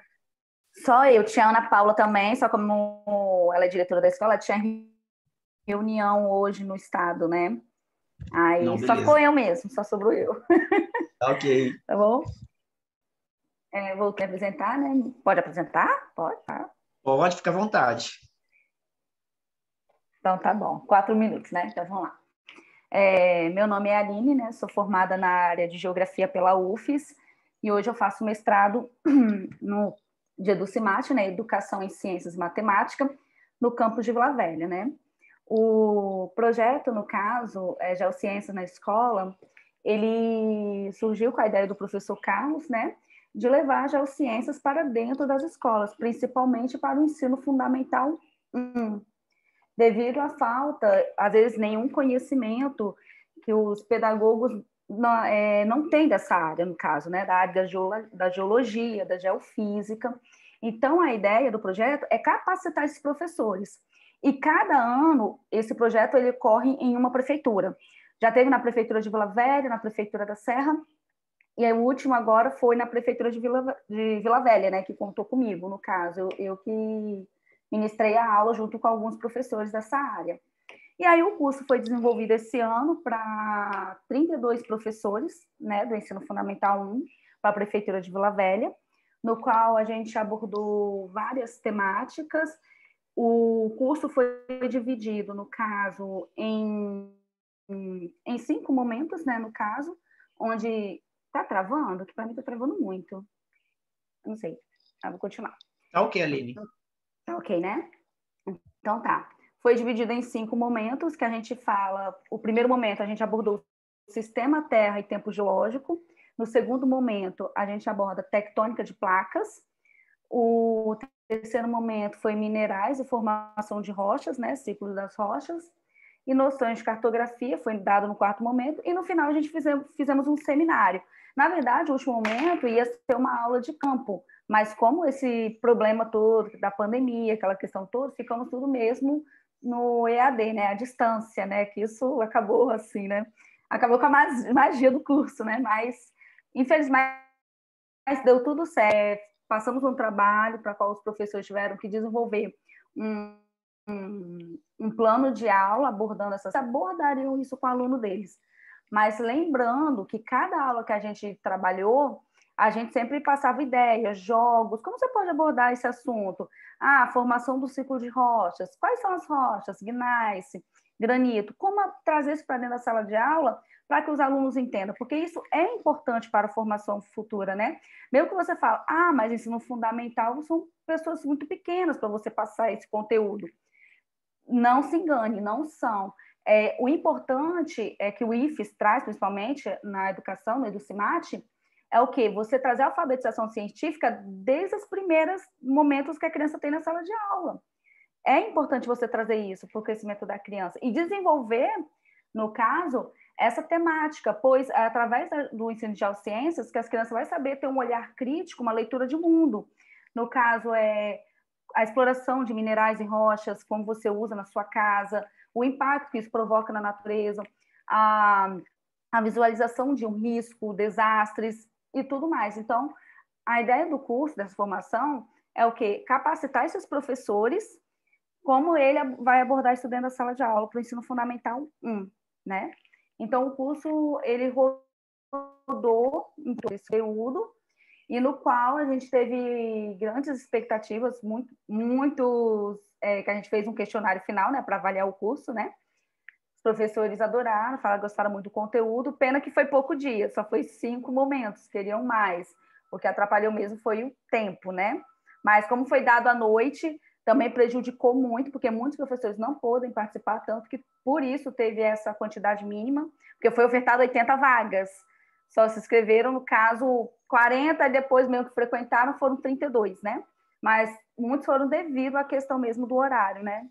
Então, o curso, ele tem, ele, o projeto, ele se envolve nesse objetivo mesmo, a formação, capacitação de professores para o ensino fundamental 1. Certo? Obrigado, gente. Acho que é isso. Aline, muito boa apresentação. Obrigado pela participação aí, tá bom? Logo mais, daqui a pouco a gente retoma aí com o bate-papo. É, vamos aqui para um próximo trabalho. É, o programa Núcleo Incubador IFES Campus Itapina.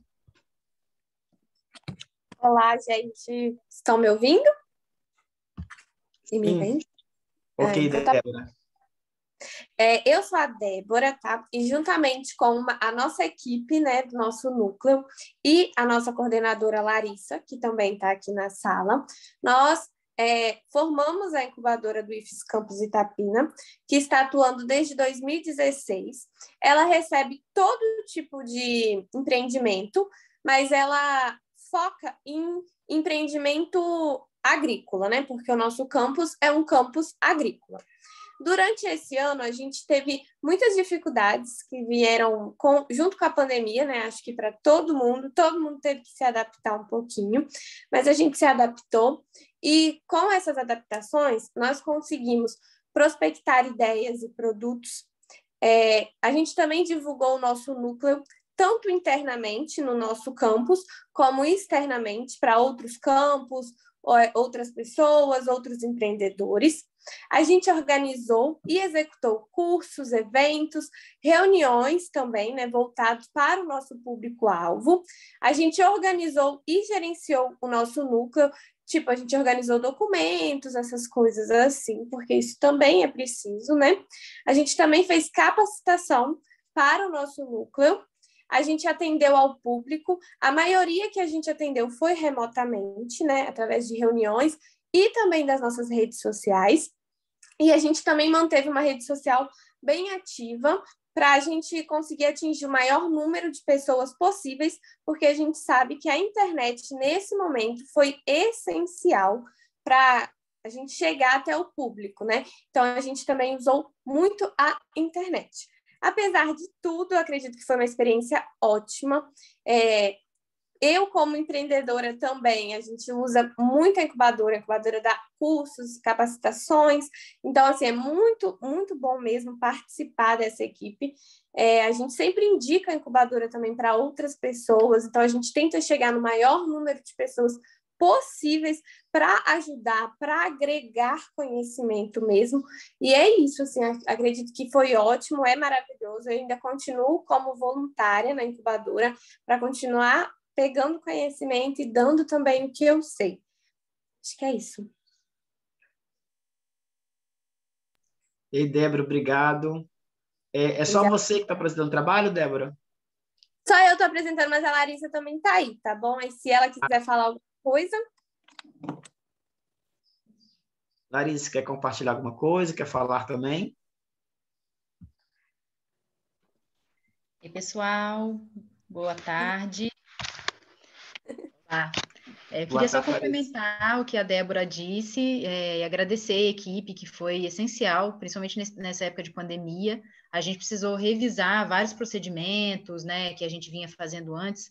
Migramos muita coisa para o EAD, para o online, né, para o não presencial, e foi em função disso que a gente conseguiu executar o que estava planejado e, e outras coisas né, que a gente precisou rever até esse planejamento.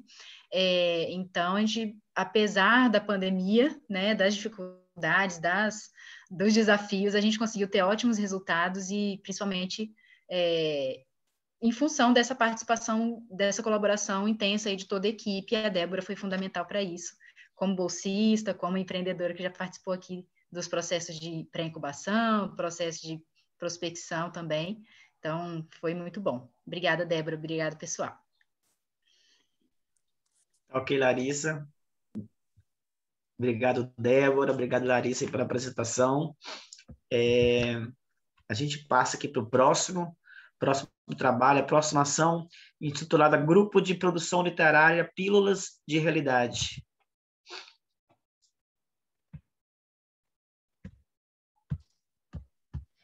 Olá, boa noite a todas e todos. É, meu nome é Bruno, sou professor do IFES Campus Vitória. Sou boa colega... tarde, Bruno. Tudo bem? Bom revê-lo. Uh, eu vou apresentar, contar com a participação da nossa aluna Penha, uma parte da apresentação. Vou compartilhar o slide aqui. Yuri, você me fala se vocês visualizam Aparece sim, Bruno, tá ok. Ok, beleza. Bom, uh, esse trabalho foi realizado no ano de 2020, com a participação de três professores, a professora Luciana, que coordenou o projeto, é, a minha participação, e a professora Michele, a professora uh, Luciana na área de Sociologia e Turismo, eu na área de História e Turismo, e a Michele na área de Língua Portuguesa e, e Língua Estrangeira em especial. Uh, ele tratou-se de um trabalho que visava, acima de tudo, né, dar uma resposta ao contexto pandêmico em que a gente vivia. O, o nosso curso de guia de turismo é um curso para o público da EJA, uh, noturno, e a suspensão das atividades presenciais gerou um afastamento muito grande dos nossos estudantes das atividades escolares, uh, não só nossos, né, da rede como um todo, uh, mas para o público da EJA, o afastamento das atividades escolares tem um impacto muito grande, porque é, esse, essa, essa dinâmica né, de, de distanciamentos da escola é recorrente na trajetória escolar desses estudantes. Então, é, nós, o, a proposta do projeto visou, acima de tudo, né, de, em linhas gerais, minimizar um pouco dos impactos desse afastamento, uh, desse distanciamento. E, acima de tudo, o objetivo principal foi o de manter o vínculo do estudante com as atividades escolares é, durante parte do período da pandemia. E ele foi, o projeto foi realizado na forma de ação complementar de ensino, portanto é um projeto é, submetido ali, né, junto à Proem, e vinha como é, oferecer a certificação aos estudantes. Uh, Tratou-se basicamente da produção de textos autobiográficos por parte dos estudantes que tinham como objetivo uh, é, que os estudantes elaborassem um relato sobre a sua vivência no contexto pandêmico. É, a ideia de fundo é a produção de sentido em torno de uma experiência traumática, que é essa que nós vivemos e ainda estamos vivendo, e se tudo der certo, estamos deixando para trás aí uh, futuramente, à medida que avança a vacinação.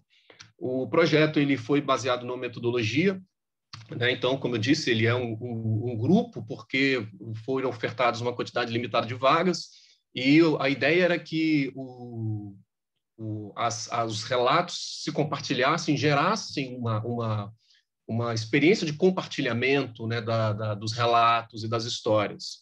É, essa, essa experiência de compartilhamento não podia ser presencial, como é do conhecimento de todos, por conta da, da suspensão, então optou-se pelo uso de um recurso é, bastante comum e bastante usual entre os nossos estudantes, que é o programa WhatsApp, foi, nós realizamos uma pesquisa junto ao público da, da, da EJA e dos cursos ProEJA do nosso campus e identificamos, identificamos que uh, a maior parte deles tem o WhatsApp como recurso fundamental de acesso a, e troca de mensagens, e todos manuseiam muito bem. Então, nós optamos por utilizar esse recurso como um, uma forma, um, um instrumento pedagógico para desenvolver as atividades do curso. Foram criados dois grupos de produção literária, porque os alunos inscritos se dividiram em duas turmas. Opa, foi demais. Ele se dividia em duas turmas, se eu passar o próximo ele apaga, engraçado. É, e cada turma, então, em torno de, foram 20 vagas, então uma turma tinha 10 alunos, outra tinha 9 alunos. Então ali é, os alunos postavam seus textos, postavam seus áudios, porque o texto, o aluno tinha que escrever o texto, ele também tinha que ler o texto, e ali no WhatsApp também, os professores, cada um de nós que trabalhou na orientação, é, ofereceu um material pedagógico de suporte, um material que pudesse embasar de alguma forma esses relatos. A ideia era que os estudantes pudessem uh, falar das suas vidas contextualizando, construindo uma visão mais ampla do processo pandêmico. E a partir daí, então, cada professor elaborou é, um material didático, a professora Michele um pouco sobre relato autobiográfico, sua fase preparatória, é, a professora Luciana trouxe uma discussão sobre esse contexto numa perspectiva mais sociológica, e eu trouxe uma perspectiva histórica, né, resgatando alguns eventos históricos muito relacionados a pandemias, em especial três eventos, dois eventos que ocorreram no passado, um no século XIV e outro no século é, no início do século XX, e obviamente trazendo também uma discussão sobre a pandemia no início do é, no, no coronavírus, né, no século XXI. Ah, os relatos, então, foram todos é, postados nos grupos de WhatsApp, os alunos postavam os relatos, eles redigiam os textos, depois postavam a leitura do relato. Era importante que o aluno lesse o relato. A ideia era que todos os alunos tivessem contato com os, os vários relatos dali presentes. É, e dessa maneira, a gente, por meio do WhatsApp, a gente criou uma interação por parte dessa temática e a gente pôde fazer uma, uma desmistificar um pouco a ideia da, do, do, estudante da EJA, de que ele vai para a escola como uma folha em branco, como alguém que não sabe nada, e na escola é que ele vai aprender tudo. É exatamente o oposto disso, a, a experiência de vida é, que o aluno traz, que ele carrega, é, é fundamental na capacidade dele de interpretar e traduzir a realidade. E com a escola, então, com a, o auxílio, do, do, a mediação né, docente, do, do aparato escolar, esse aluno pode é, a, é, ampliar essa, essa capacidade que ele já traz em si por conta da vivência da experiência. Uh, eu, no, a etapa final foi uma avaliação em que todos os participantes part, é, estiveram presentes no, no, encontro online e, por fim, essa atividade contou com a presença do, das colegas do Núcleo de Atendimento a Pessoas com Necessidades Específicas, porque nós tínhamos três, dois estudantes com necessidades específicas, então elas deram um apoio ali no, na preparação do material, no, no, estudo desses alunos. Elas não, ele também, porque tinha o, o ledor aqui, é, que eu esqueci o nome dele, mas tudo bem. Então, para finalizar, eu tenho aqui a Penha, que foi uma aluna nossa, ela está presente aqui na sala, para poder é, mostrar um pouco né, a perspectiva do estudante sobre essa experiência. Penha, você poderia fazer a gentileza?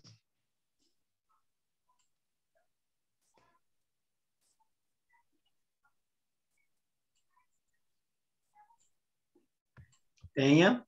Ah, estava só ligando a câmera. Bom, eu amei fazer isso daí porque o essa proposta, porque quando eu pensava assim, acabou, vamos ficar sem aula há muito tempo, eu já estava sentindo falta, muita falta de verdade, que já estava com a vida meio ociosa em casa, perdi o emprego, porque eu era cuidadora de idosos, a paciente que eu tomava conta veio a falecer. É, aí foi assim maravilhoso que eu pude expor aquilo tudo que eu estava sentindo, é, a falta do emprego, a, a pandemia que é, querendo ou não te deixou presa dentro de casa, você só saía para serviços essenciais. É, e eu também tive muita alegria que eu morava de aluguel, estava passando um perrengue, aí depois consegui comprar minha casa própria, foi uma felicidade danada. E meio isso tudo, eu comprei a casa, tive que na pandemia fiz minha mudança, mas graças a Deus assim é, não ninguém se infectou, né? Se foi infectado não não teve, não apareceu nada, mas eu acho que essa, essas propostas são assim para muito boas para as pessoas que às vezes não tem como como falar, expor as coisas. Desse jeito aqui, eu acho que a pessoa pode extravasar, falar, porque tem, tem outras pessoas para te escutar, para te orientar bem. E eu, eu amei fazer, e se tiver mais projetos como esse, eu quero quero participar, dou meus parabéns ao Bruno, à Michele, aos à Luciana, aos professores que esteve envolvidos nesse, nessa proposta. Ok, Penha, obrigado. Yuri, obrigado. Desculpa aí o tempo. Não, tranquilo. É, muito obrigado, Bruno. Muito obrigado, Penha, também pela participação. Que bom te ouvir, Penha. É, vamos agora para a próxima ação aqui, que é a, uma proposta de avaliação multidimensional da aprendizagem de programação na formação profissional. Os autores do trabalho estão aí?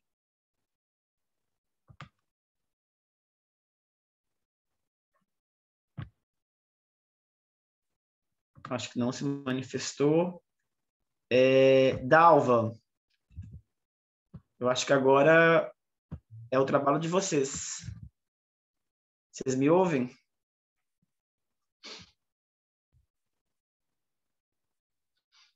Vamos aguardar um instante.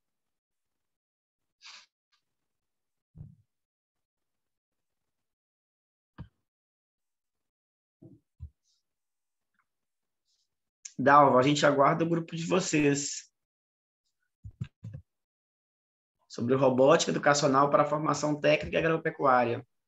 Então, Imuri, é, eu tô, eu tô acompanhando vocês aqui, né?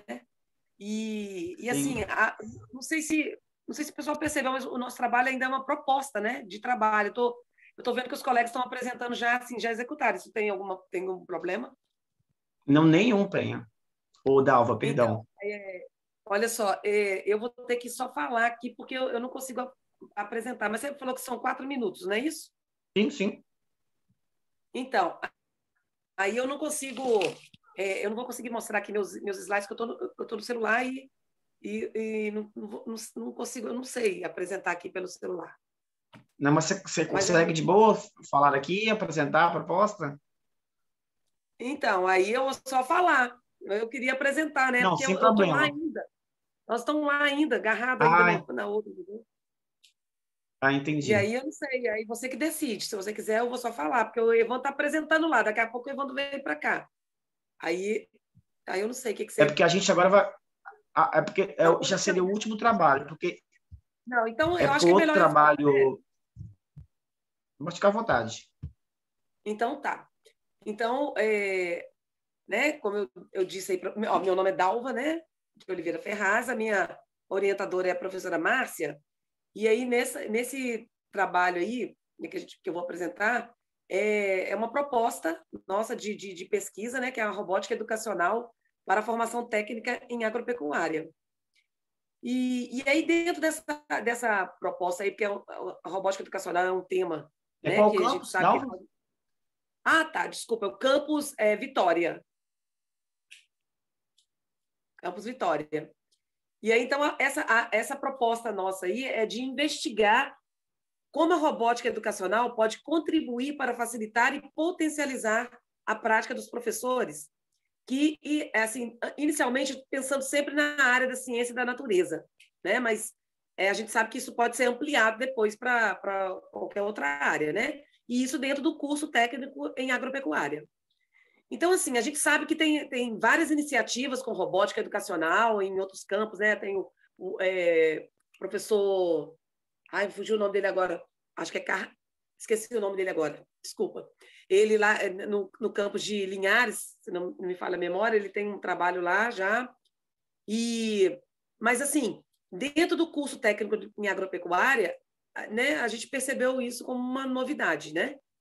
Então, é, a novidade desse trabalho então, seria esse uso dessa robótica no, no, nesse curso técnico. E a relevância do trabalho que a gente traz é para a formação profissional, né, para é, ali né, colaborar, potencializar o professor ali na prática dele, né, para ele fazer a, a, o processo de ensino, aprendizagem dele ali com a mediação dessa tecnologia, né, usando a robótica educacional dentro do curso técnico em agropecuária. E, além disso, né, trazer isso junto com o pensamento computacional para fazer com que o professor consiga é, criar um algoritmo né, e compreender melhor essa, essa, essa, essa tecnologia. É, Para embasamento teórico da nossa proposta, a gente vai trazer, então, Simon Papert e Demerval Saviani. O, o Papert, porque ele é né, considerado precursor da robótica educacional, ele já vem fazendo esse trabalho assim, há muitos anos, né?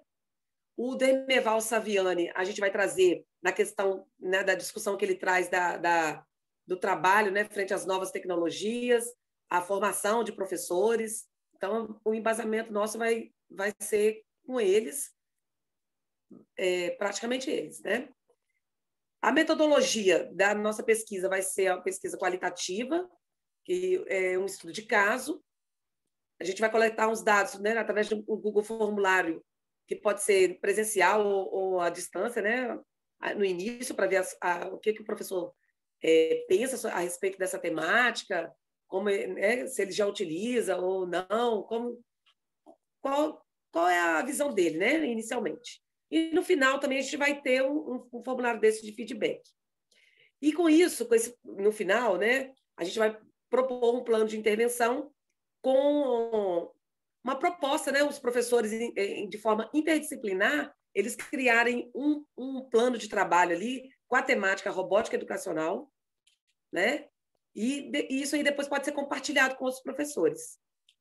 Então, é, o produto educacional que a gente vai propor, que a gente pretende propor, é uma oficina de robótica para fazer a simulação de uma, de uma irrigação automatizada usando um kit de Arduino.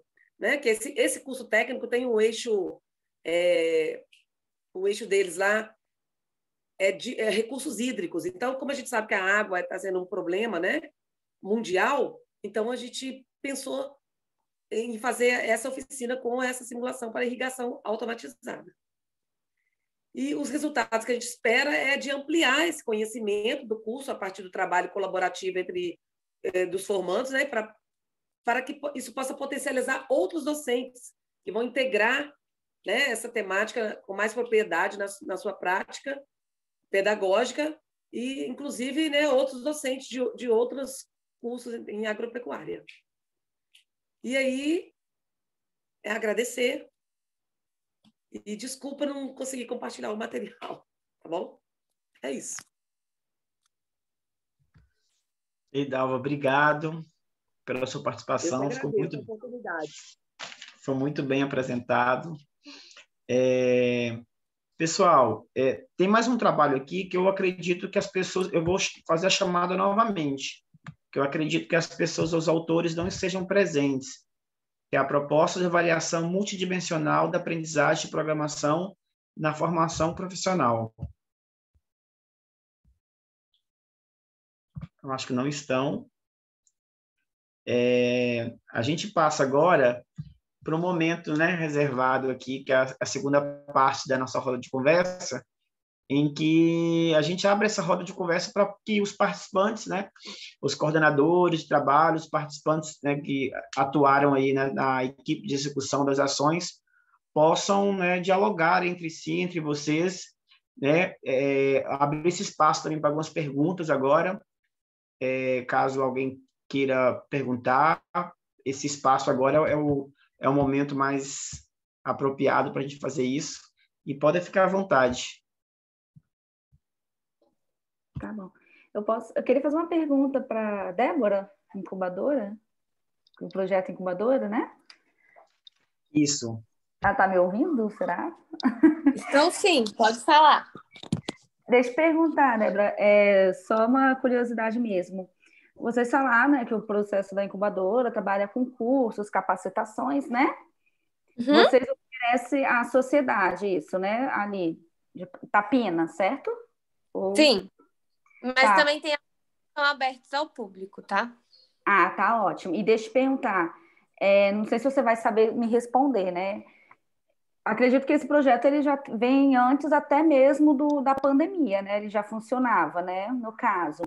Você uhum. sentiu alguma diferença assim depois da pandemia, assim, se teve mais inscritos, menos inscritos, pouca participação, é, com ele sendo foi EAD, né? Você falou, né? No caso, né? Vocês tiveram que até que fazer adaptação. Vocês sentiram essa diferença? Teve mais no participação pre... por ser online, entendeu? No presencial, é, a gente já faz desde 2016, a incubadora tem atuação, e a gente sempre conta com os parceiros, né? O Sebrae, eles sempre iam lá dar cursos, capacitações, essas coisas. Então, a gente, era, como era presencial, realmente o público do IFES que participava mais.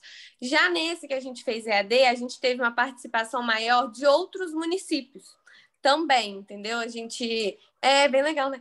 É, assim, a gente não tinha grandes quantidades de inscritos, mas assim, seis, dez inscritos, mas eram cursos com limi limitações de vagas, né? Acredito que a gente, se, se a gente não limitasse essas vagas, teriam mais. A gente até fez um também, que o nosso campus foi assim, a, o residente né, iria ser presencial, ele, ele queria sediar Aí a gente teve que passar para o online, a gente teve muitos inscritos, foi para toda a região de Colatina e tudo. Aí a gente também teve outras faculdades, como o IFES e o IFES de Colatina, a prefeitura.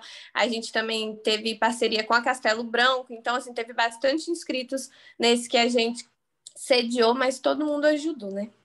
E deixa eu perguntar, é, de, é, acredito eu, né? Vocês pretendem continuar ainda com os cursos online, mesmo depois sair após pandemia? Com retorno, presenciais? Porque vocês acham que seria, mais, seria benéfico? Porque como, pelo que você me disse, né? Abrangeu mais pessoas, mais municípios. Isso é muito é excelente, né? Apesar que, claro, tem umas defasagens no, no ensino EAD, né? Que presencial é uma coisa, a vivência, a experiência vai ter ali. E online nem tanto. Mas vocês pretendem continuar com alguma plataforma online? Sim, a gente pretende sim. Inclusive, sigam a gente nas redes sociais, porque a gente sempre fala lá quando vai ter capacitação. Posta no são... chat aqui a ah, rede, se você puder. Instagram para vocês seguirem, tá? É, e lá a gente posta e a gente pretende sim, tá? Seguir com esses online, porque realmente a gente teve boas respostas do público. A gente acredita que a gente alcançou muita gente. Ah, então tá ótimo. Obrigada, tá? Obrigada Posso a você. complementar o Aline. É, é, boa tarde, pessoal. Boa tarde. É, essa questão aí do público, a gente não só teve mais adesão, né, em, em, determinadas situações, como também a gente conseguiu atingir pessoas de outras localidades que a gente não atingia antes. Então, em uma das ações que, que a gente fez várias lives e, e tudo, foi a modelagem de novos negócios em que a gente teve inscritos até do Rio Grande do Sul. Então, se fosse presencial, não teria condição de ser, né? Eles não teriam a possibilidade de participar.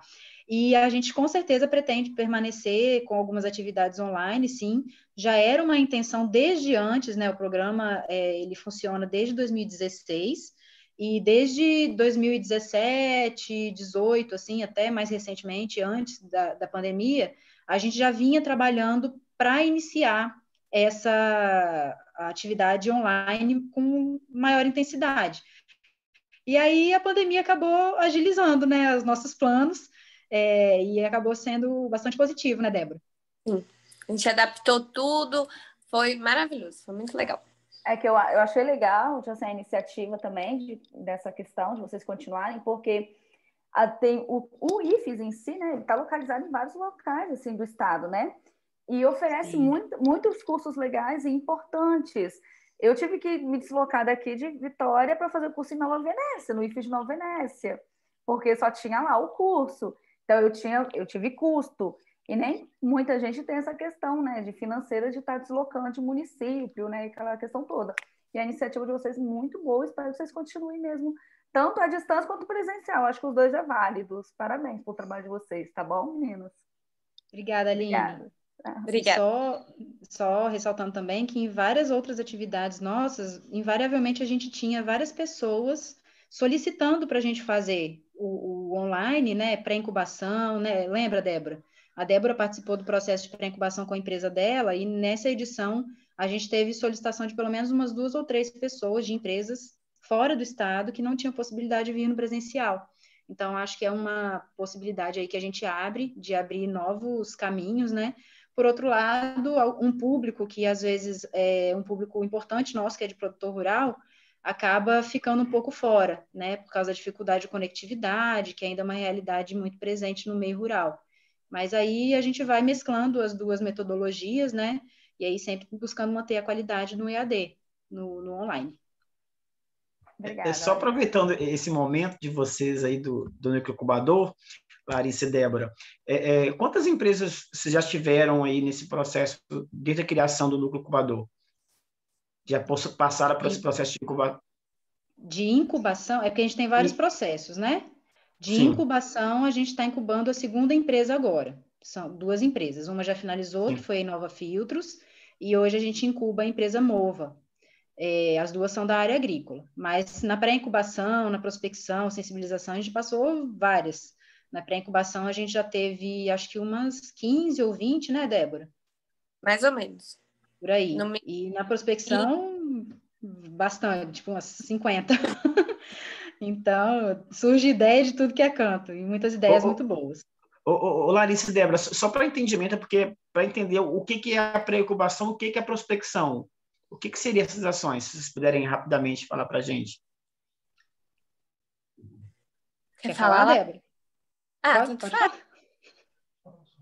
É, a pré-incubação, ele, ele é assim, a gente não fica incubado, ainda não há retorno financeiro para a incubadora, entendeu? A gente ajuda eles no desenvolvimento da ideia para aí ela ser incubada. Quando a ideia, por exemplo, é para você aperfeiçoar, mas se você tiver retorno, também volta para a incubadora, um pouco desse retorno financeiro. A pré-incubação não há esse retorno.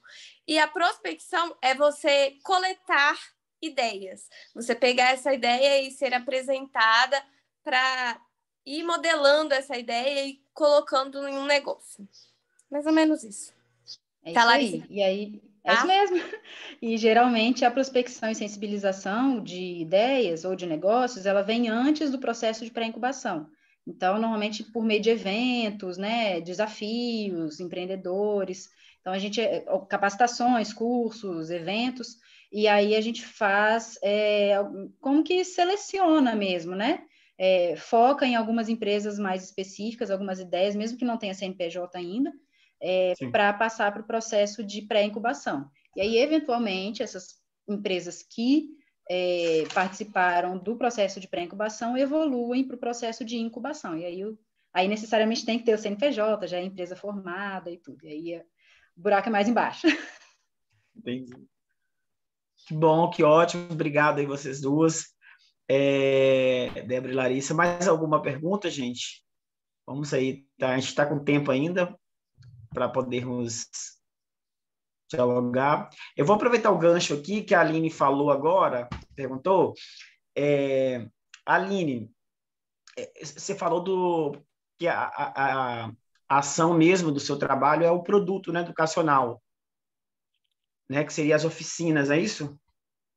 Isso. É, é, é o planejamento ele já nasceu é, para ser realizado é via ensino remoto, EAD, ou o planejamento ele sofreu alteração em virtude da, da pandemia?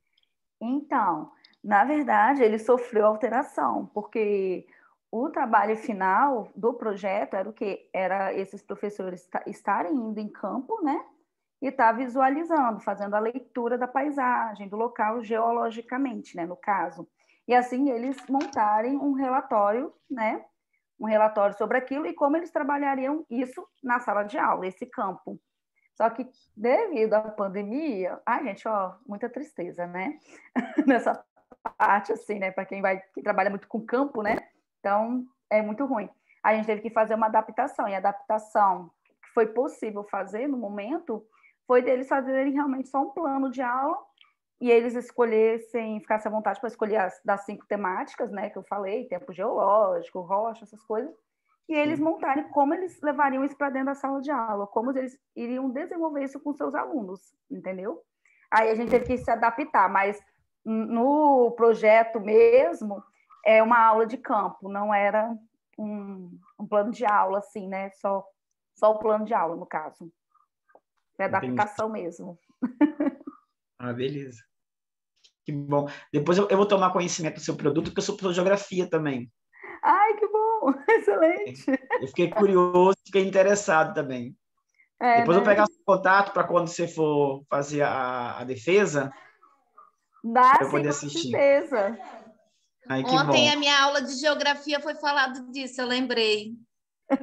É, Penha. O professor Júlio falou as placas tectônicas, essas coisas todas.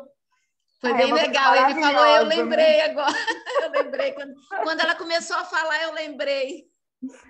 Que é uma bom, coisa maravilhosa. É,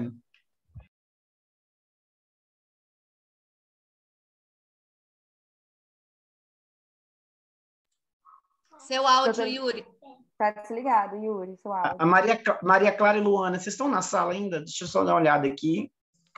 Eu ainda estou aqui, a Maria Clara. Ei, Maria Clara, é, vocês, é, vocês são de que curso? Eu faço administração, eu sou técnica, eu estou fazendo técnico, e a Luana faz letras. Ah, deixa eu perguntar aqui. É, é, vo- vocês já tinham conhecimento já dessas ações de, de extensão e pesquisa no IFES antes de entrar né, no projeto? Particularmente, eu fui bolsista também da pesquisa, é, mas antes de estar na pesquisa, eu também tinha conhecimento porque eu vi algumas pessoas comentando desse tipo de ação que o IFES realizava. Porque eu já tinha interesse em participar de alguma delas, mas sim, eu tinha conhecimento antes. Ai, que bom. É, não era isso mesmo que eu queria saber, é porque é, normalmente são ações que são desenvolvidas dentro, dentro dos campos, né, e, e- e muitos dos nossos alunos não têm esse conhecimento, né, e perdem a oportunidade de fazer parte de algo tão, tão bacana, principalmente, né, quando é extensão, né, pela, pela possibilidade da gente abrir mesmo as portas do instituto, né, do campus, né, para outras pessoas, para a comunidade, e assim, é, você teria como me falar um pouco também, ô Maria Clara, sobre essa questão, os impactos né, para a sua formação também como cidadã, assim, esses cursos, de, de conhecendo as pessoas também, né, de fora do IFES, é, tendo esse momento de, de estar com a comunidade também. Hoje, na questão da minha formação, eu vejo como um ponto essencial, porque a administração, ela precisa de um pouco de prática para você entender como ela funciona. Então, você conseguir gerir o que está acontecendo, planejar uma oferta de cursos, mesmo aquela parte burocrática que, de fato, ela é necessária. Então, isso também te mostra, é, na questão da, da sua cidadania, na sua construção como cidadão. É, por exemplo, hoje, na questão de empreendedorismo social que estava sendo estudado, você já consegue visar quais são as demandas da população. O que que tá, o que, qual é a carência, né? O que, que precisa ser abrangido dentro da comunidade? Porque, de fato, existe uma procura. Existe uma procura. E o IFES, com, por sua estrutura, fornecer esse apoio e atender às demandas é muito importante, porque você recebe uma oportunidade. Então, tão im- importante quanto receber é você também fazer com que ela venha, retorne e gire, criar um ciclo, né? Se você está recebendo, por que não oportunizar outras pessoas? Então, na minha opinião, é crucial, é muito importante. Eu acredito que deveria ter muito mais oferta dessas bolsas. Ah, que bom, que bom, Maria Clara. Obrigado aí pela sua participação, né? E de, de e saber, né, que quanto aluna você já tem esse entendimento, isso é muito bom para a gente. Acho que esse protagonismo que a gente busca e quer, né, para os nossos alunos, né, não somente em sala de aula, né, no, no, no campo do ensino, mas Sim, também para a pesquisa e para a extensão. Muito obrigado aí. É, eu queria. Tá ok. É, Bruno e, e Penha. Bruno, é, eu já conhecia seu trabalho, né? Mas me ficou uma dúvida que eu não lembrava aqui é, do, do, do processo aí da das etapas aí da finalização do, do da, dessa ação né, que vocês desenvolveram. É, foi, foi compartilhado essas produções literárias entre, entre os grupos, entre as turmas, e, e dependendo da pergunta, eu queria perguntar para a Penha, né, dependendo da resposta. Né? É, Eu posso te ligar daqui a pouco?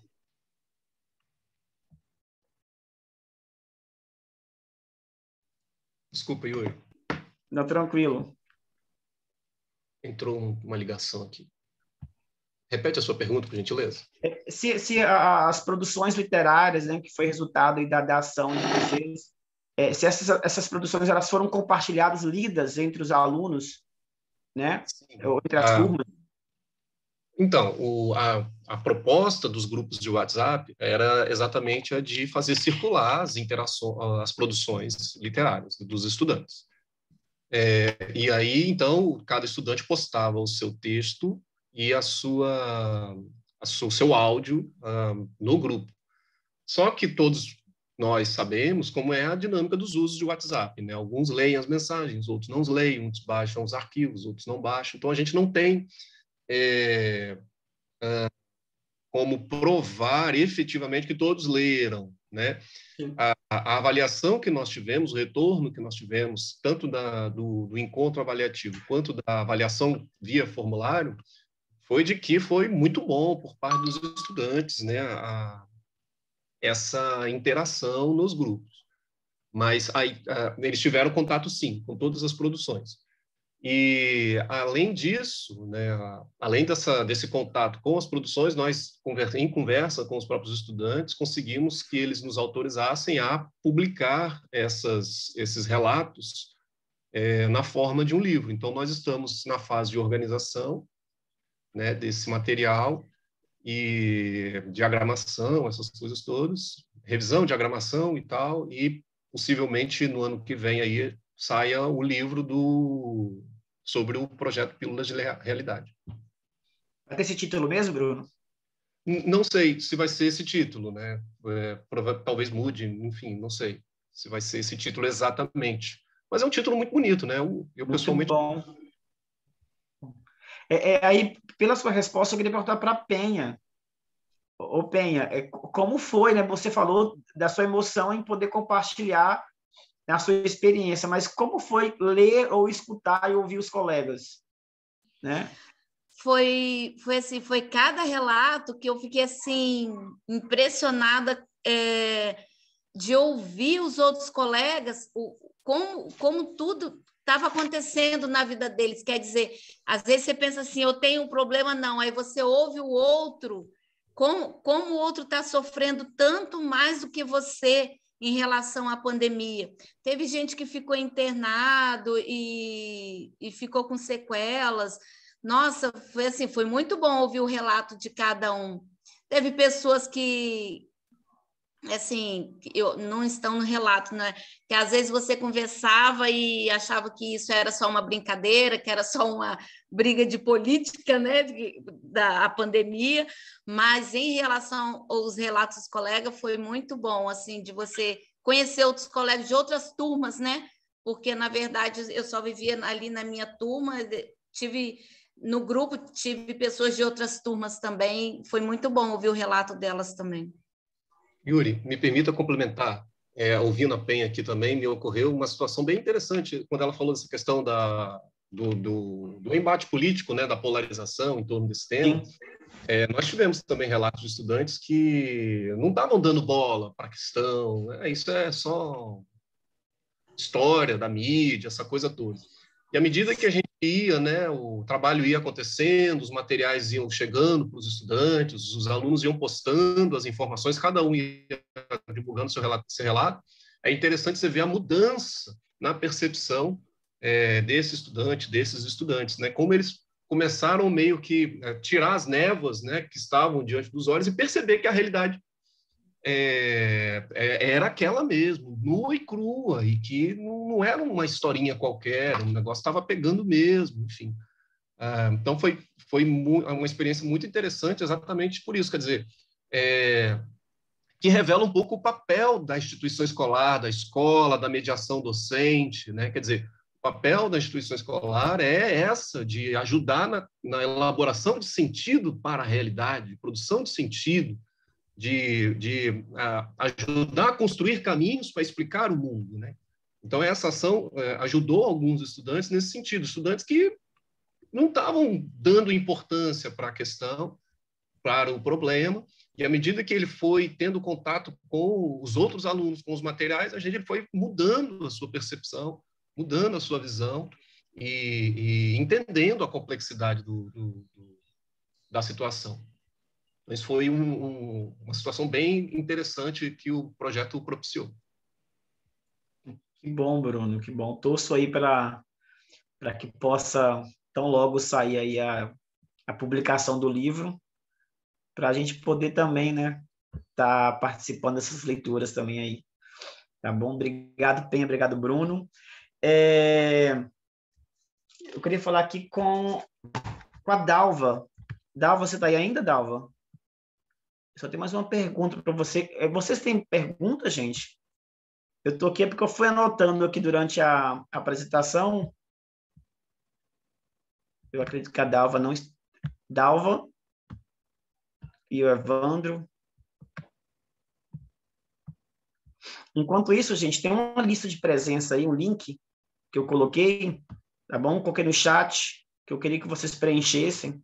Antes de fecharmos a sala, eu queria que vocês aí já, já clicassem no link, pudesse já deixar aí salvo o link.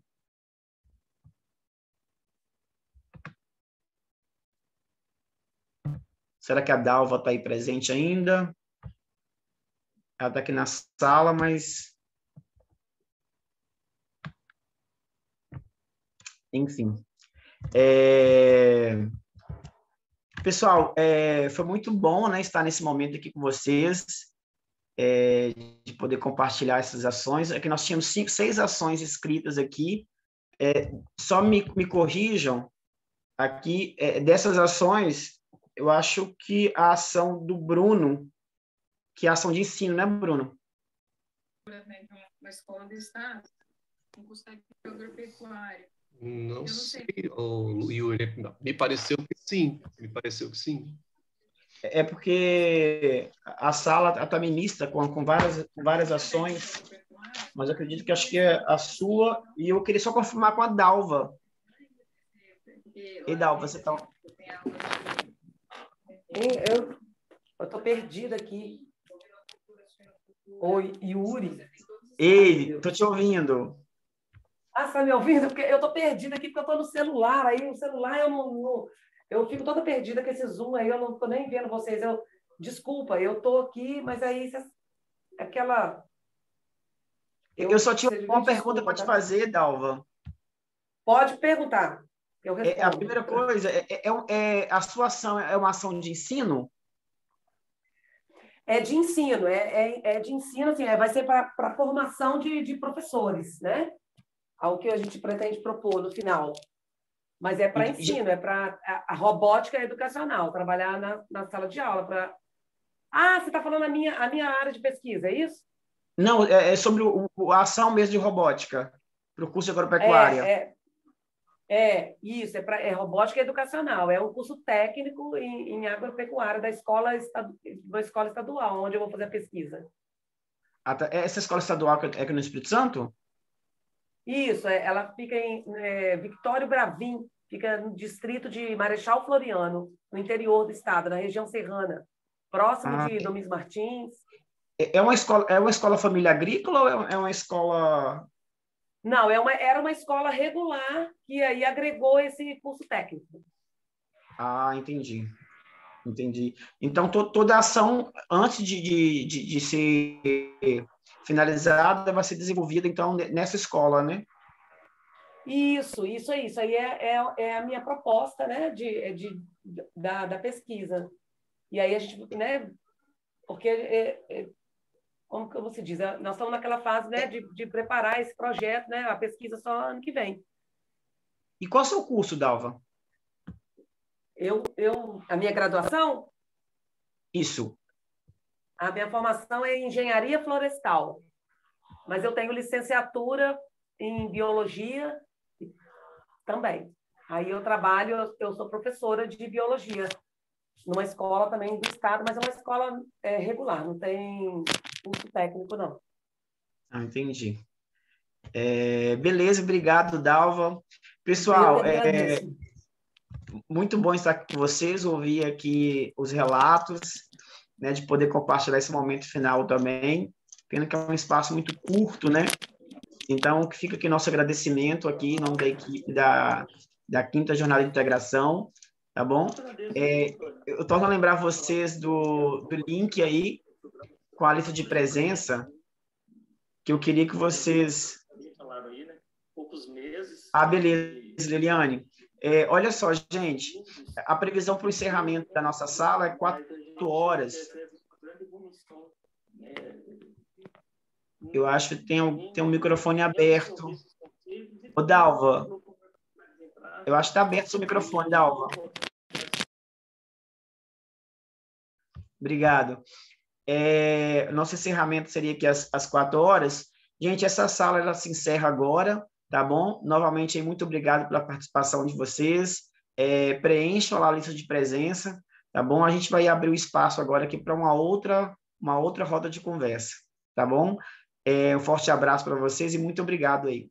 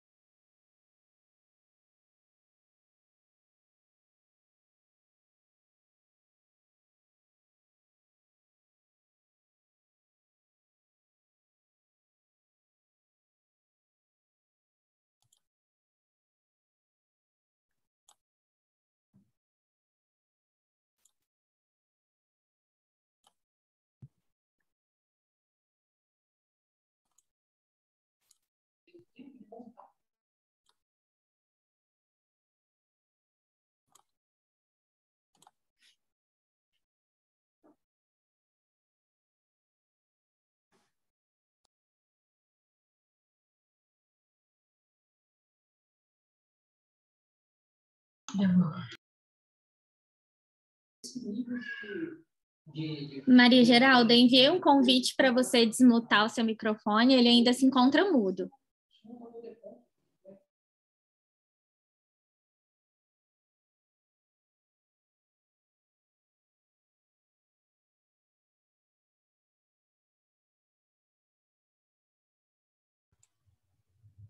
Conseguiu?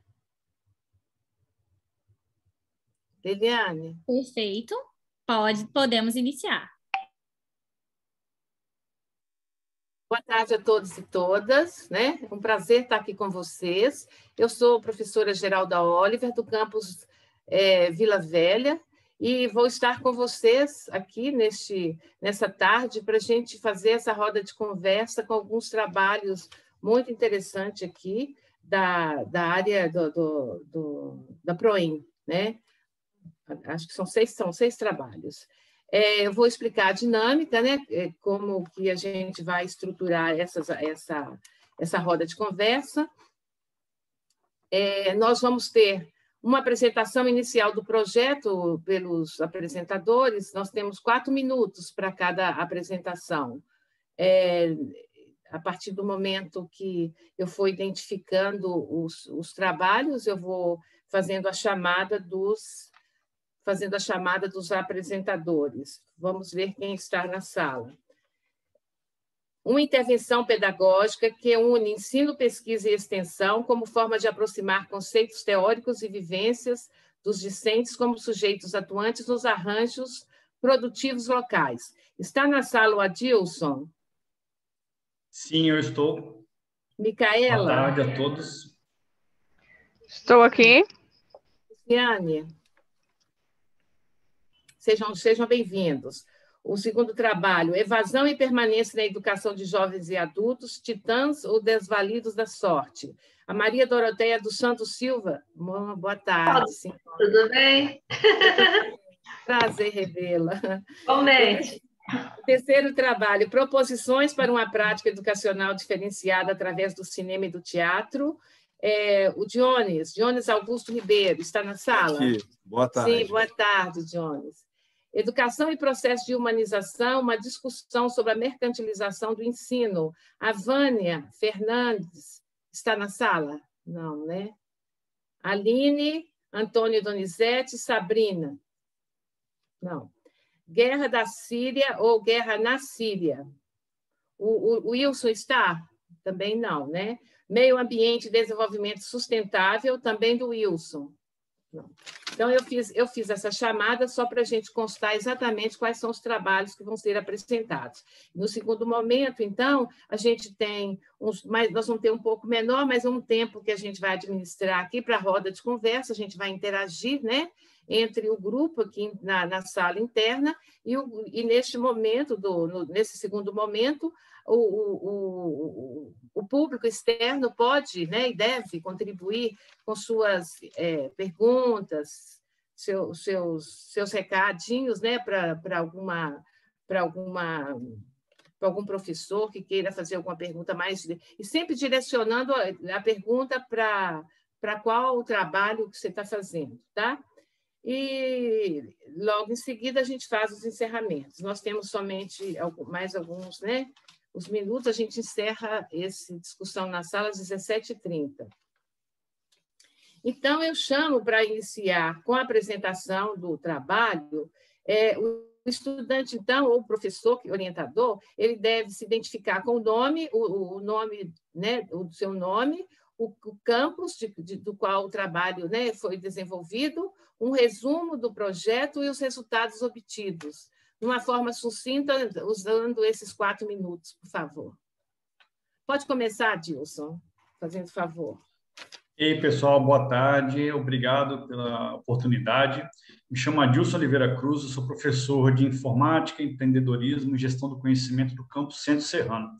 O Campo Centro Serrano ele fica entre as cidades de Domingos Martins, Santa Leopoldina e Santa Maria de Etibá e atende outras cidades também no entorno. E qual foi o nosso trabalho? Eu e as alunas Micaela e Luciane criamos uma, uma intervenção pedagógica. Na verdade, eu criei a intervenção e elas participaram enquanto alunas. durante é, a época que eu ministrei a disciplina de informática aplicada, eu percebi que você ensinar informática para essa geração nova, para essa geração Z, é diferente. É, geralmente se aprende mais do que ensina. Você, eu, tenho, eu sou técnico, é, bacharel e mestre em informática, mas todo dia tem alguém inventando alguma coisa nova que a gente não acompanha. Todo dia tem uma rede social, uma hora é Instagram, outra hora é TikTok, etc. E então a gente tem que sempre tentar é, fazer algum tipo de intervenção pedagógica, fazer uma aula que realmente seja é, interessante para os alunos, que torne eles é, é, sujeitos atuantes né, no, no, estudo. E já que na, nessa parte é, do ensino a gente faz isso, o IFES ele também trabalha com pesquisa e extensão. A pesquisa ela visa criar esses conhecimentos inovadores para todo mundo e a extensão visa, visa trabalhar junto à comunidade, resolver os problemas da comunidade, ver quais são as dores delas e como a gente pode contribuir com tudo isso. É claro que a pesquisa e o ensino fazem isso é, bastante, só que a extensão faz isso mais diretamente. Então, o que, eu fiz? Eu falei, ah, então vamos unir isso aí. Nisso, nós usamos algumas metodologias ativas de aprendizagem para aprendizagem para facilitar isso aí. Não teve uma específica, mas foi uma união então, por exemplo, aprendizagem baseada em problemas. Então, conforme iam sendo ensinados algumas alguns sistemas, algumas teorias, algumas práticas de informática, os alunos iam buscando, junto com a vivência que eles tinham do, do uso da informática, o que, que eles já sabiam, o que, que eles não sabiam, e junto com os arranjos produtivos locais, as empresas locais, quais eram as necessidades que eles tinham.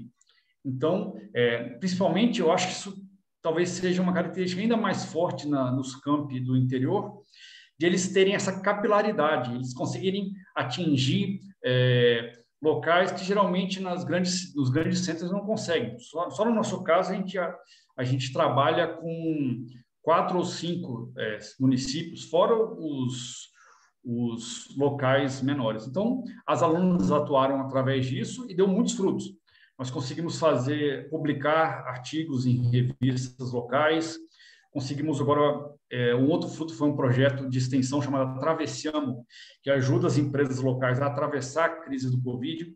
Muitas empresas elas são familiares, são pequenas, né? É difícil para um microempreendedor individual, para um pequeno empresário, lidar com toda essa dificuldade que a gente teve, que eles tiveram principalmente dos pequenos negócios. Então, a gente está ajudando eles a utilizar as tecnologias de informática para isso.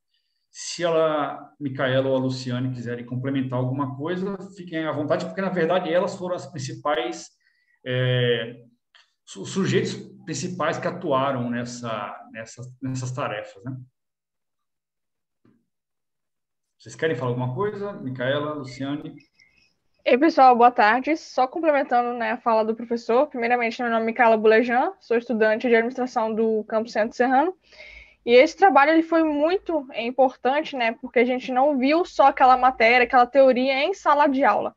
A gente foi também para o campo, né? Fomos ali, tivemos o contato com 14 empresas, na qual aplicamos né, questionários, fizemos uma análise qualitativa e quantitativa nessas empresas. É, como o professor já falou, publicamos ali o nosso artigo numa revista local, e como fruto né, do, da potencialidade desse trabalho, é, a gente sabia que principal resultado né, do nosso artigo, a gente percebeu que é, esse projeto, né, essa intervenção pedagógica, esse contato dos alunos com a comunidade era muito válido e muito importante para o cenário aqui das empresas locais, né, principalmente de aqui de Santa Maria de Itibá, região serrana aqui do estado. E nisso, esse ano, né, é, viemos aí com o projeto Atravessiamo, como o professor já bem comentou, né, um projeto ali que a gente também atua como é, voluntários ali dentro das empresas, de forma a prestar ali consultorias básicas, né? É, como manter ali bons custos, como você pode ali é, organizar é, a sua gestão, né? Então, assim, todo um projeto é muito amplo e tem ali portas abertas a projetos futuros, né? Um projeto que tem ali uma plena continuidade de acordo com a potencialidade do, do assunto. Acho que seria, seria isso mesmo. Obrigada, Micaela. Vamos, então, com a apresentação da, do trabalho Evasão e Permanência na Educação de Jovens e Adultos, Titãs ou os os desvalidos da Sorte, com a Dora. Oi. Pode usar, Dora, os quatro minutos. Depois a gente vai fazer a discussão no, no segundo momento. Ok. Geralda, boa tarde, boa tarde a todos, todas e tudes. Eu gostaria de colocar uma apresentação, mas nessa. Você acha que é válido? É, se você não passar muito do tempo, não tem problema, não. Eu acho que é válido, sim. É, não é, sei, a Liliane. É nessa ferramenta aqui que o Congresso. Me... Podemos fazer o seguinte: enquanto a Liliane te ajuda no, nos bastidores, Isso. eu chamo para a gente não atrasar, né? Isso, do... ótimo. A gente chama Como é que eu faço, Liliane? Ela está. Ela está no, tá no, no, no, apoio. Ela vai. Tá. vai no... colocar numa sala em separado, a gente testa e depois retorna para a sessão principal. Ok, Liliane. Eu estou com a apresentação aberta. Obrigada, Geraldo. É, agora, então, então, a gente vai para o. Tá, Jones? Tem algum problema, Jones, para você? Não, tudo bem, tranquilo. é, o trabalho do Jones é proposições para uma prática educacional diferenciada através do cinema e do teatro. Jones Augusto Ribeiro, fala para nós sobre o, esse projeto, o resumo, as, os resultados. Okay. Assim. Bom, boa tarde a todos. Meu nome é Jones Augusto Ribeiro, sou doutor em História, sou professor do Campo Centro Serrano, trabalhei com meu amigo, meu grande amigo Adilson, trabalhamos juntos lá.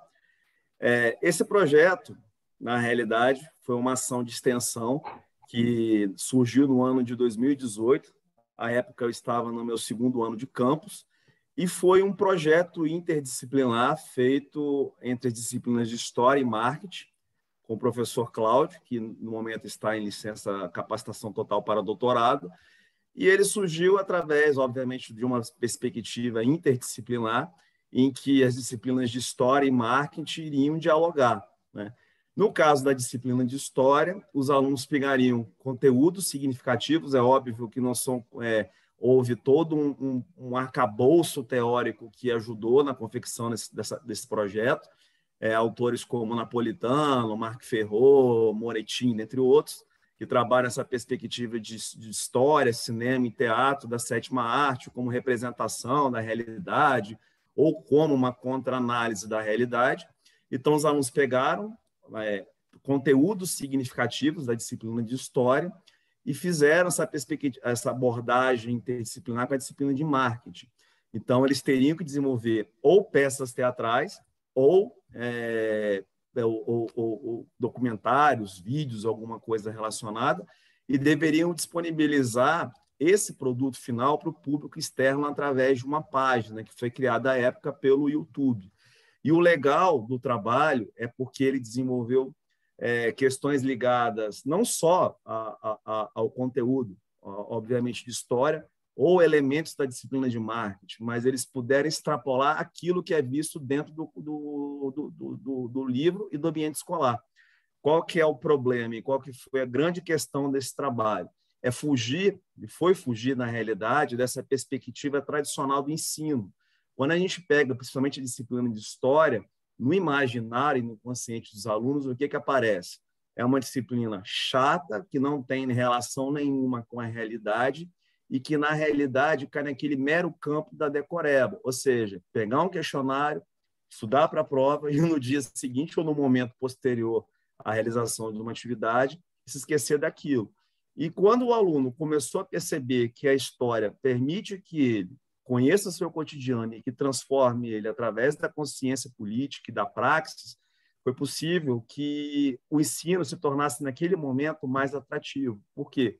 Quando eles levaram o conteúdo para aquilo que é significativo para eles, quer seja através do cinema, quer seja através do teatro, ou através de vídeos, eles puderam perceber que a disciplina, não só de história, mas também de marketing, assim como todas as outras, é, tem um significado para elas, porque eles podem extrapolar o conteúdo e colocar em prática aquilo que é significativo para eles, não só do ponto de vista político, mas também daquilo que tem uma relação direta com o que eles estudam em sala de aula e com aquilo que transforma né, o ensino atrativo, quer seja através do teatro, quer seja através do cinema, quer seja através de vídeos, etc. Eu, infelizmente, eu acabei não convidando nenhum aluno, porque todos foram, todos já estão formados. Alguns já são, são alunos nossos do curso superior e outros não estão mais no campus. Mas o resultado final foi muito interessante, porque houve uma parceria com o público externo, e isso acabou sendo atrativo à época para os alunos pensarem o IFES não só enquanto uma instituição que vai dar para eles alternativas para eles poderem é, evoluir nos estudos, mas também ver o IFES como um espaço de vivência, com espaço de problematização política e um espaço onde a pluralidade é, deve ser utilizada como, como um mecanismo não só de convivência social, mas também como mecanismo político. Né? E o cinema e o teatro promovem essa crítica. Né?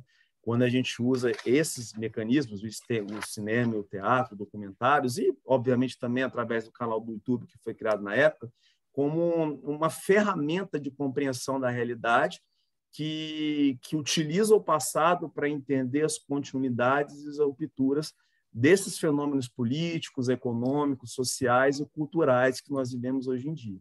Então, seria isso. Não sei se eu já usei meu tempo todo. Muito obrigado. Está tá, tá dentro do, do, do, tá dentro do que a gente esperava.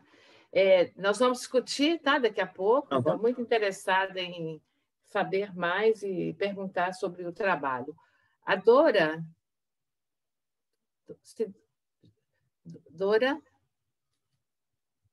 se Dora ainda não estiver preparada, a gente começa a discussão, a gente faz um pouquinho, uns, uns, umas adaptações para a gente aproveitar o tempo, né? O, o Jones. Pois não? É, eu, eu acho que se, se a. Cadê a Dora? Ela não está. Vamos fazer o seguinte: enquanto Dora não, não, não vem, é, é, não é assim que a gente deveria fazer, mas vamos fazer uma adaptação. Vou chamar o Adilson também. É, não sei quem põe, acho que a, a Lilian, a Lilian está aí? Adilson e as Sim. alunas, né, que, que, estão com a câmera fechada, a gente começa uma. Ah, a Dora já está preparada? Ah, então tá. É porque a gente, eu achei que você ainda estava se preparando. Então, então daqui a pouco a gente faz. Ô, Dora, pode apresentar seu trabalho, a gente está é, interessado, muito interessado em ouvir. É sobre evasão e permanência né, na educação de jovens e adultos. Dora, pode desmutar o seu microfone.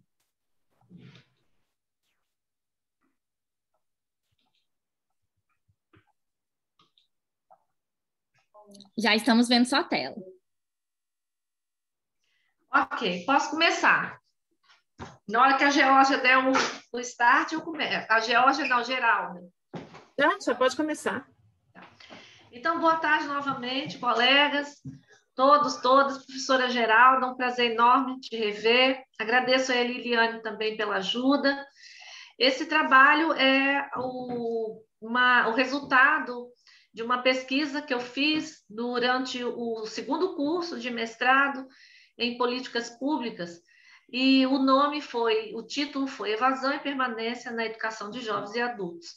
Titãs ou Desvalidos da Sorte. Por que titãs? O início da nossa escola foi é, a escola para os titãs, aqueles titãs que, na verdade, de titãs não tinham nada, né? Foi um nome para embelezar a história da educação é, profissional na virada do século, quando é, no governo do Nilo Peçanha foi necessário criar as escolas de aprendizes artífices para abrigar os filhos dos escravos recém-libertos e também filhos de imig de, dos imigrantes recém-chegados no Brasil e que não tinham qualificação profissional. É, é, é, o estudo ele foi realizado no período de 2016 de 2017. É, nós escolhemos três campi do IFES é, e, e, esses três campi eles foram pensados da seguinte forma: um campus urbano, né, que um público-alvo da cidade, foi o campus Vitória, um público médio urbano, que foi o campus de Venda Nova do Imigrante, e um público completamente rural, né, que foi o campus de Santa Teresa. o objetivo, né, o, o, a relevância desse estudo é porque no ano de 2000, entre o ano, o ano de 2011, mais ou menos aí 2011, 2012, nós tivemos no, no, no IFES uma, um número de evasão muito grande com as turmas do PROEJA.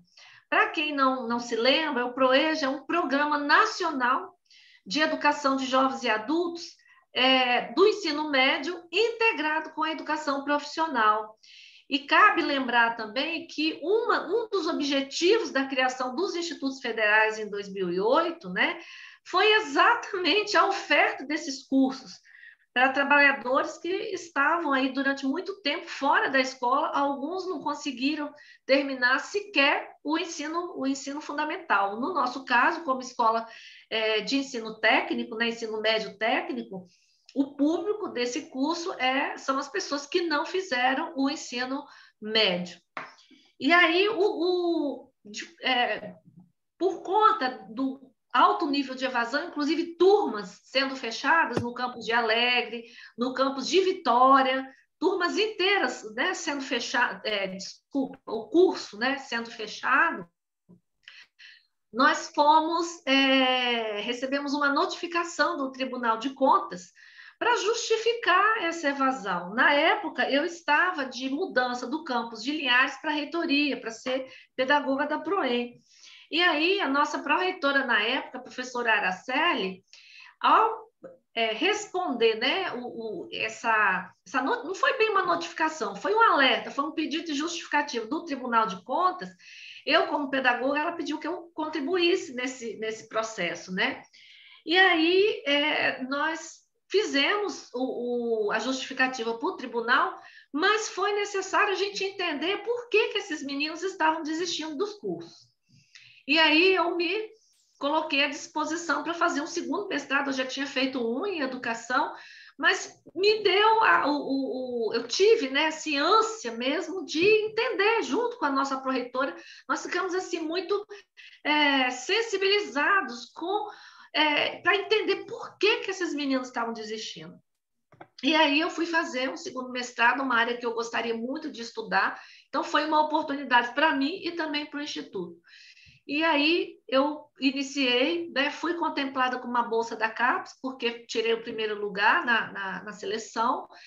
E aí a gente pôde, então, assim, nadar de braçada para poder fazer essa, essa investigação. O objetivo foi levantar as características desse público evadido, nesse período de 2014 e 2015, e verificar os motivos. Então, esse foi o, o objetivo principal. Os motivos que evadiram os alunos e também os motivos que permaneceram os alunos. Então, a gente, nós tivemos aí duas, duas vertentes, né? Quem permaneceu e quem evadiu e por quê. Os objetivos específicos é levantar os dados de evasão em cada um dos campi, de acordo com as seguintes categorias: gênero, universo, sujeitos, cursos, causas, endereço, as dificuldades encontradas, o trabalho que essas pessoas, é, em, em, é, os locais né, em que elas trabalhavam. Também tivemos como objetivos específicos identificar esses alunos que permaneceram, né, que concluíram seus cursos, e mapear os motivos apresentados, tanto pelos é, evadidos quanto pelos que permaneceram. É, nós utilizamos como metodologia né, de trabalho é, a pesquisa qualitativa, organizamos a partir de entrevistas semi-estruturadas e também com grupos focais. Esses grupos focais eles foram mais com os é, os servidores, professores e servidores que trabalhavam com esses cursos nos três campos. E as entrevistas semi-estruturadas foram realizadas com os alunos. Nós selecionamos, né, o, o critério de seleção foi os alunos que quiseram participar, né, não foram obrigados de forma alguma. E, e também nós é, fomos até aos alunos. Então, nós é, fomos aos, campi para poder fazer o, o recolher os dados da entrevista, mas os alunos que não estavam, que não estavam frequentando, nós fomos às casas. Então, assim, eu visitei em torno de 35 a 40 residências dos alunos, né? Também tivemos a, rea realização de um estudo preliminar. Então, antes, né, no pré-projeto, antes da gente iniciar a pesquisa, antes de qualificar, eu apresentei um pré-projeto com esse estudo preliminar, e nesse estudo preliminar nós identificamos e analisamos né, é, é o percurso desses alunos evadidos e, e permanecidos, principalmente as notas, o baixo desempenho acadêmico, né, os trabalhos que eles é, participavam dentro dos seus cursos, trabalhos de, de é, as atividades acadêmico-científico-culturais, alguns alunos nós também conseguimos, é, dentro desse estudo preliminar, conseguimos levantar os dados dos estágios e tudo mais. Conduzimos uma revisão bibliográfica, né, tanto na, na literatura nacional né? principalmente na obra de Frigoto, na obra de Marise Ramos, na obra de Maria Tiavata. Como pilar principal, nós tivemos Paulo Freire, né? e também analisamos alguns trabalhos de mestrado e doutorado com a temática de educação de jovens e adultos.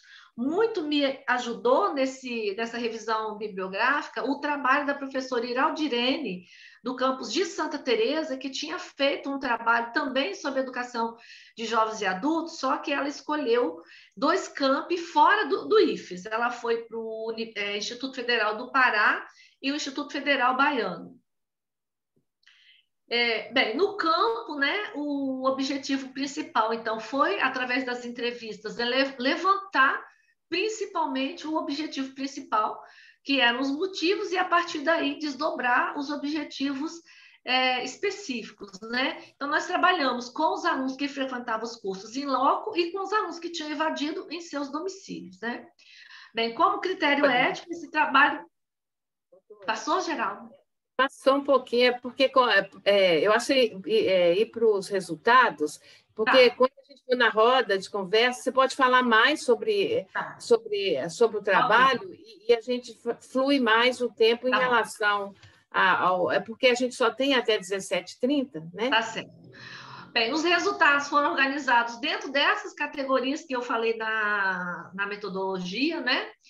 E o que nós encontramos, né, como resultado foi o combate à evasão e promoção da permanência é, aponta ações previstas no PDI, então o PDI do IFES, ele logo em seguida, né, ele, ele já estava né, em, em reconstrução, é, como estratégias pedagógicas a serem implantadas em nível institucional para atender a demanda legal e promover a justiça social no IFES. Né? É, um dos motivos principais apontados foi que os projetos pedagógicos dos cursos integrados de Proeja e, dos, e os integrados é, regular, eles devem ser diferentes. Os alunos encontram muita dificuldade em ter que cumprir uma quantidade enorme, um currículo extremamente difícil, fechado e não acessível. Ok? E a palavra-chave: evasão, permanência, educação profissional e tecnológica para trabalhadores, inclusão e diversidade. É isso. Obrigada. Interessante. Os três trabalhos daria sim. Se a gente tivesse muito mais tempo, a gente iria ficar aqui horas, porque são, são três temas muito muito provocadores, né? Você tem vontade de ouvir mais e de perguntar. Eu vou iniciar com algumas questões, eu vou, vou priorizar nesse primeiro momento a fala da, da, de uma das estudantes, ou a Micaela ou a Luciane. É, elas estão aqui, não estão aí? Elas, elas, não, elas não estão com a câmera aberta, mas elas estão na sala.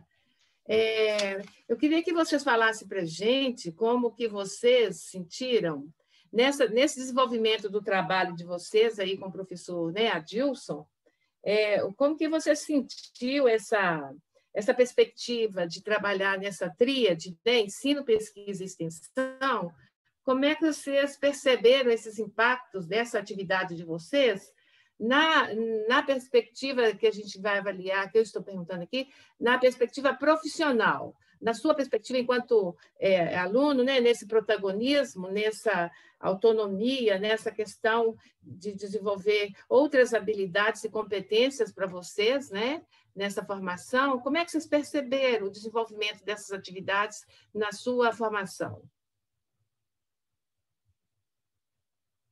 Liliane, é, Liliane não é, elas não estão na sala? E o Adilson? Então, se elas não tiverem, Elas, elas não estão ouvindo? O Adilson. A Luciane não, a Luciane não está na sala. A Micaela também. Ela, também. A Micaela está, não sei se ela está conseguindo falar. Tá. Oh, oh, então, eu, eu, eu vou refazer a pergunta, que tem uma, uma. Como é que você percebe, né, você, enquanto professor, percebe ou percebeu a relevância dessa ação para a sociedade local? Olha, excelente pergunta, porque foi um, um dos tripés desse trabalho, ensino, pesquisa e extensão. E a extensão foi bem relevante. Primeiro que esse trabalho ele começou como um trabalho comum de uma disciplina, e como a aluna Micaela falou, os, a gente, claro que a gente, isso ele começou em 2019, então a gente não tinha a menor ideia de que havia uma pandemia. Só que em 2019 a gente começou a fazer já esse mapeamento de como era a utilização da tecnologia da informação né, nessas empresas, com em vista em auxiliar eles no futuro. E veio a pandemia, isso se tornou urgente. Está aqui a gente conversando online e não no congresso presencial. Então foi muito relevante os, nesse projeto. É, que se torna, o que se tornou esse projeto, eles estão sendo auxiliados a utilizar desde ferramentas simples, por exemplo, marketing digital, fazer propaganda através da internet, ou até mesmo utilizar o WhatsApp da melhor forma para para atender seus clientes, esse tipo de pro, pequenos problemas que às vezes para a nossa geração, para minha geração pelo menos, que não nasceu no meio da informática, às vezes é um pouquinho complexo, mas para essa geração Z que para eles é completamente natural, eles conseguem resolver. E por eles estarem é, imersos nesses arranjos produtivos locais, principalmente nessas empresas familiares do interior, dá para perceber que foi muito importante. As empresas elas começaram, elas rapidamente tinham alguém que podiam auxiliar elas localmente, às vezes tanto presencialmente como não, na resolver esse tipo de problema.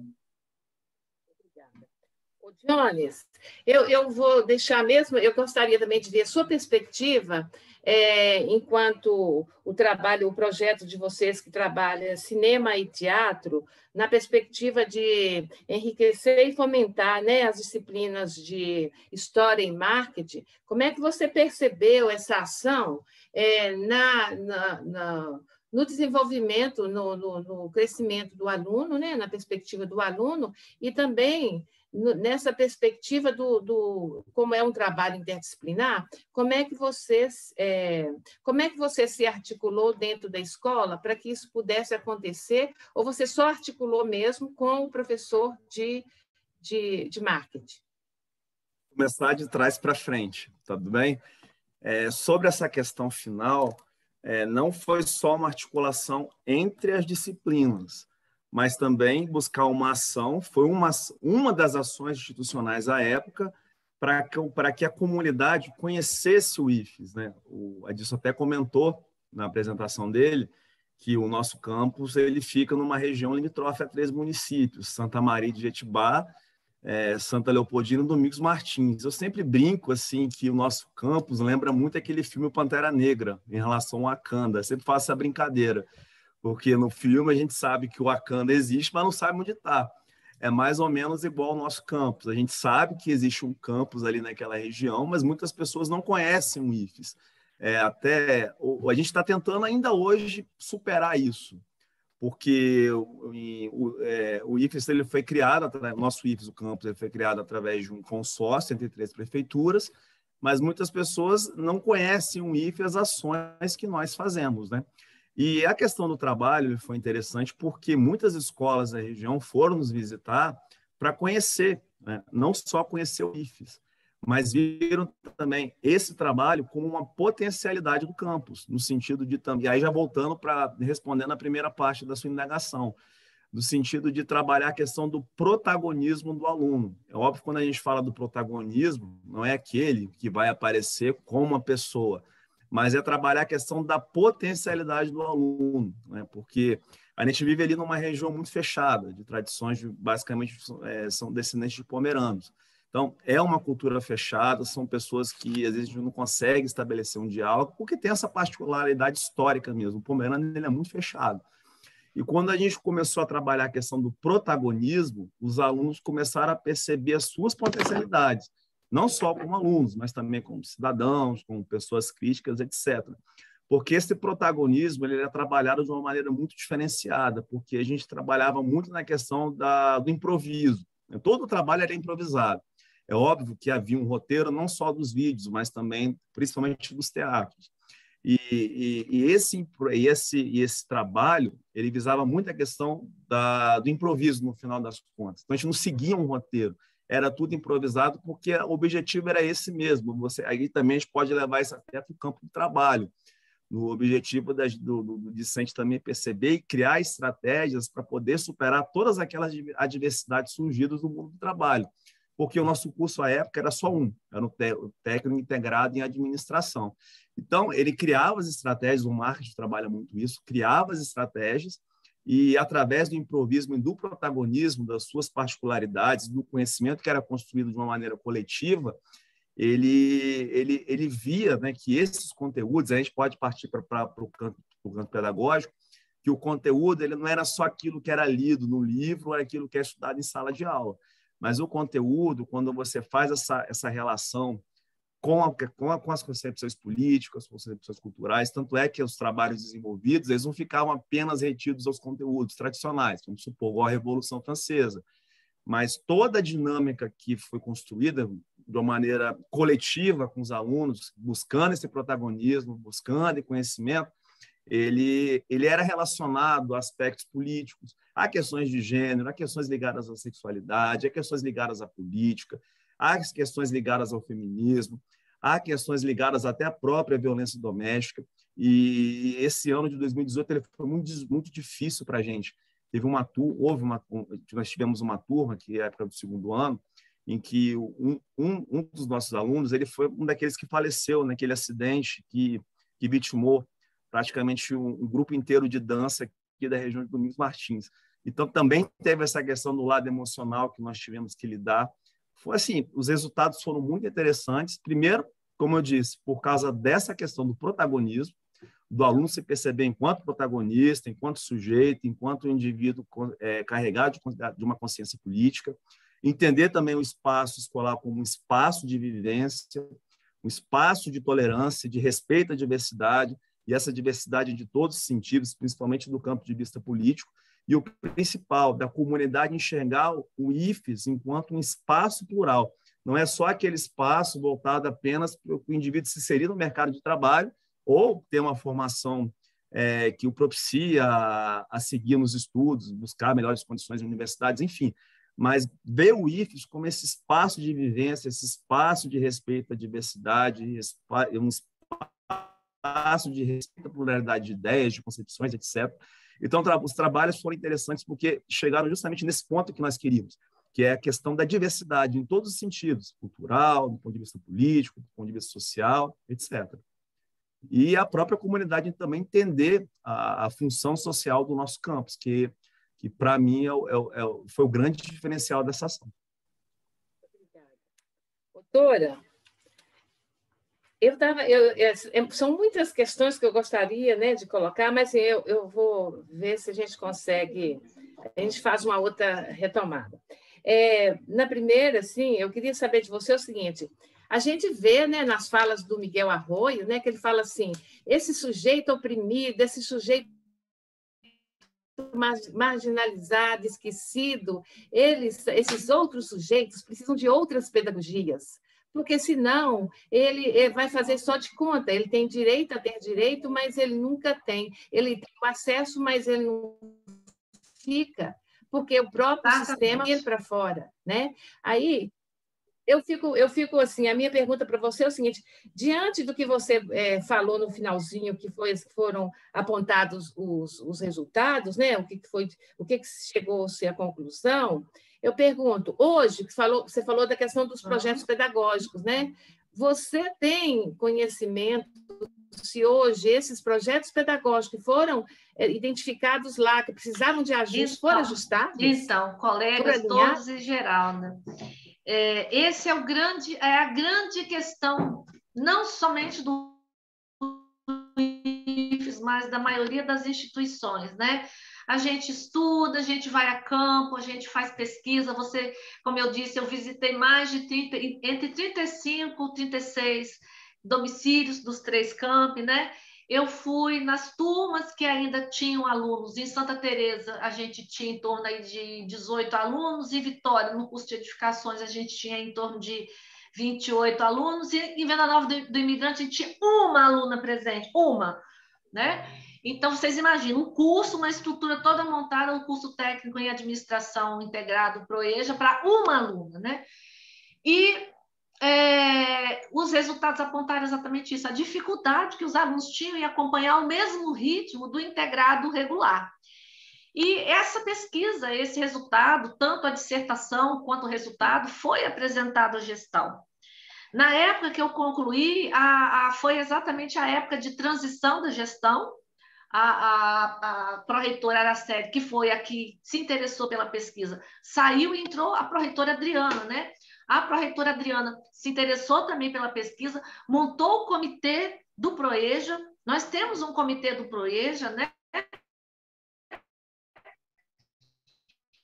Inclusive, a, professora Dani, aí do campus de La Velha, ela faz parte do comitê, a Fernanda também faz parte, né, a diretora de vocês. Entretanto, Maria Geralda e, e colegas, a dificuldade institucional que a gente tem de trabalhar o currículo como algo é, enviesado no cotidiano escolar é muito grande. Como o professor, o segundo professor, eu esqueci o nome dele, é, o segundo professor que apresentou agora, que eu esqueci o nome, como o professor falou, isso. Jones. Como, Jones, é. Como o professor Jones é, comentou, a formação maior do, dos, dos, colegas do Instituto é, é uma formação técnica. A questão da, do, da, a questão pedagógica, a questão da discussão curricular, a questão da docência, isso não é discutido no Instituto, tão poucos nossos colegas têm formação nessa área. Quando eu falo isso, não é do ponto de vista negativo, não, colegas, porque também a gente necessita do conteúdo técnico. Como que a gente vai formar os engenheiros? Como que a gente vai formar né, essa quantidade enorme de alunos que a gente forma se não for o conteúdo técnico? Eu não tenho conteúdo técnico né? A minha área é pedagogia, pedagogia.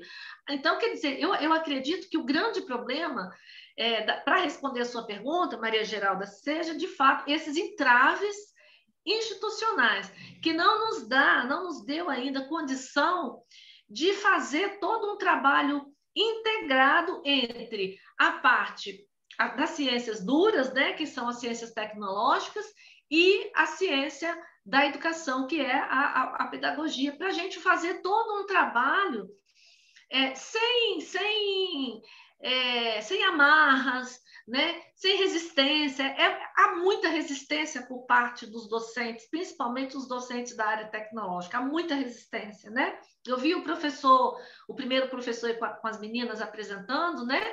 A, a, Liliane e a outra colega, a, a, é, enfim, esqueci o nome né, agora. E, Adilson, eu, né?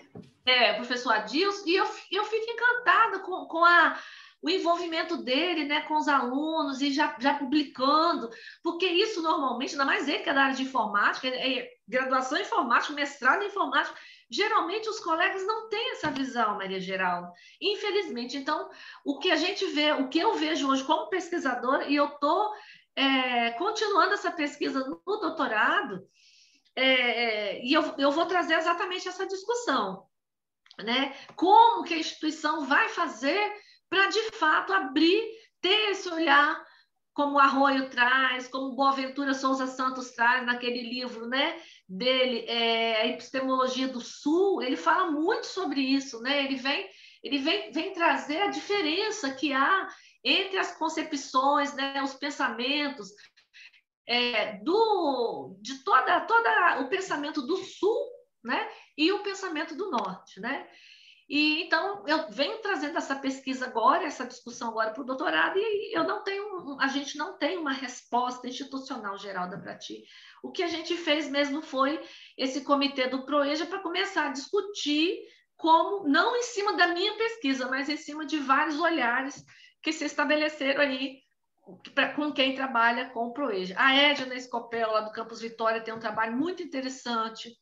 A professora Maria José também, né, que também é, é da área de geografia da sua área. É, tem também o, tem um outro rapaz que agora me esqueci o nome dele, também no Campus Vitória, tem um trabalho muito bacana. Tem a professora Edna da UFES, que faz uma ponte com o IFES. A professora Graça Lobino, que é aí do campus de Vila Velha, ela também, embora ela discuta a área de ambiente, mas ela tem um, uma, uma, um pensamento e um, um, olhar muito voltado né, para a questão da diversidade, do excluído, né, aquele oprimido, como a professora Geralda comentou. Então, é a gente unir forças e vamos ver no que vai dar. É, esse processo de articular ensino, pesquisa e extensão é, é, é, é, sempre um desafio né, a ser enfrentado, porque é, os paradigmas têm que ser né, discutidos e, e, e quebrados para a gente poder mudar. É, eu vejo que o, o, o, assim, dentro de Vitória, assim, o, o IFES de Vitória tem feito realmente tudo que você vai falar de EJA, assim, tem um pessoal muito comprometido há muito tempo, né? Eu, desde 2010, quando eu cheguei, eu já eu já percebi esse movimento, esse trabalho lá, mas assim é, é um é aquela coisa, né? Políticas, em política, a gente não, não, não pode descansar, né? Cruzar os braços e falar que a luta está ganha, né? Cada dia a luta é diferente e a gente tem que estar disposto, porque senão, e educação, a gente não faz educação, a educação é um ato político, né? Aí eu vou fazer uma pergunta agora que, vai, que para os três, né? Os três podem responder. Eu queria que vocês compartilhassem assim, conosco alguma experiência marcante que foi que, que, marcou vocês durante esse processo que vocês desenvolveram nessa pesquisa que cada um realizou no seu espaço. Posso responder primeiro, colegas? Acho que pode, que você já está. É. Pode abrir a. Liliane, pode abrir a, a, a câmera dos três? É. Seria interessante. É, então, colegas, me marcou muito dois fatos. O primeiro, chegar no campus de Venda Nova do Imigrante. Eu não sei se vocês conhecem, é um campus lindo, é um dos mais lindos que a gente tem o professor Carnieri, que foi o, o, o, grande desbravador, né, tanto do campus Cachoeiro quanto do campus de Venda Nova, ele que, que criou tudo. Assim, organizou um campus tudo muito organizado, tudo muito é, um zelo, um primor. Chegar numa estrutura dessa, com professores capacitados, professor Lucas Dessa e, e vários outros, né? E você ter uma aluna uma aluna no curso técnico integrado de administração em nível de isso me marcou muito, porque a nossa escola é pública, é um dinheiro público que está indo ali. E aí você vai depois no, no campus de é, Santa Teresa, uma outra situação que me marcou muito foi um, um, o curso de que eu trabalhei foi o curso de agroindústria, o técnico integrado ProEja em agroindústria, noturno. E eu, os alunos que, que não estavam frequentando, eu fui em algumas casas e um nível de pobreza, não pobreza material, mas pobreza política, pobreza estrutural, pobreza é, inclusiva, é, um, uma, umas pessoas assim é, fora, como se tivesse fora da, do, do, nosso contexto.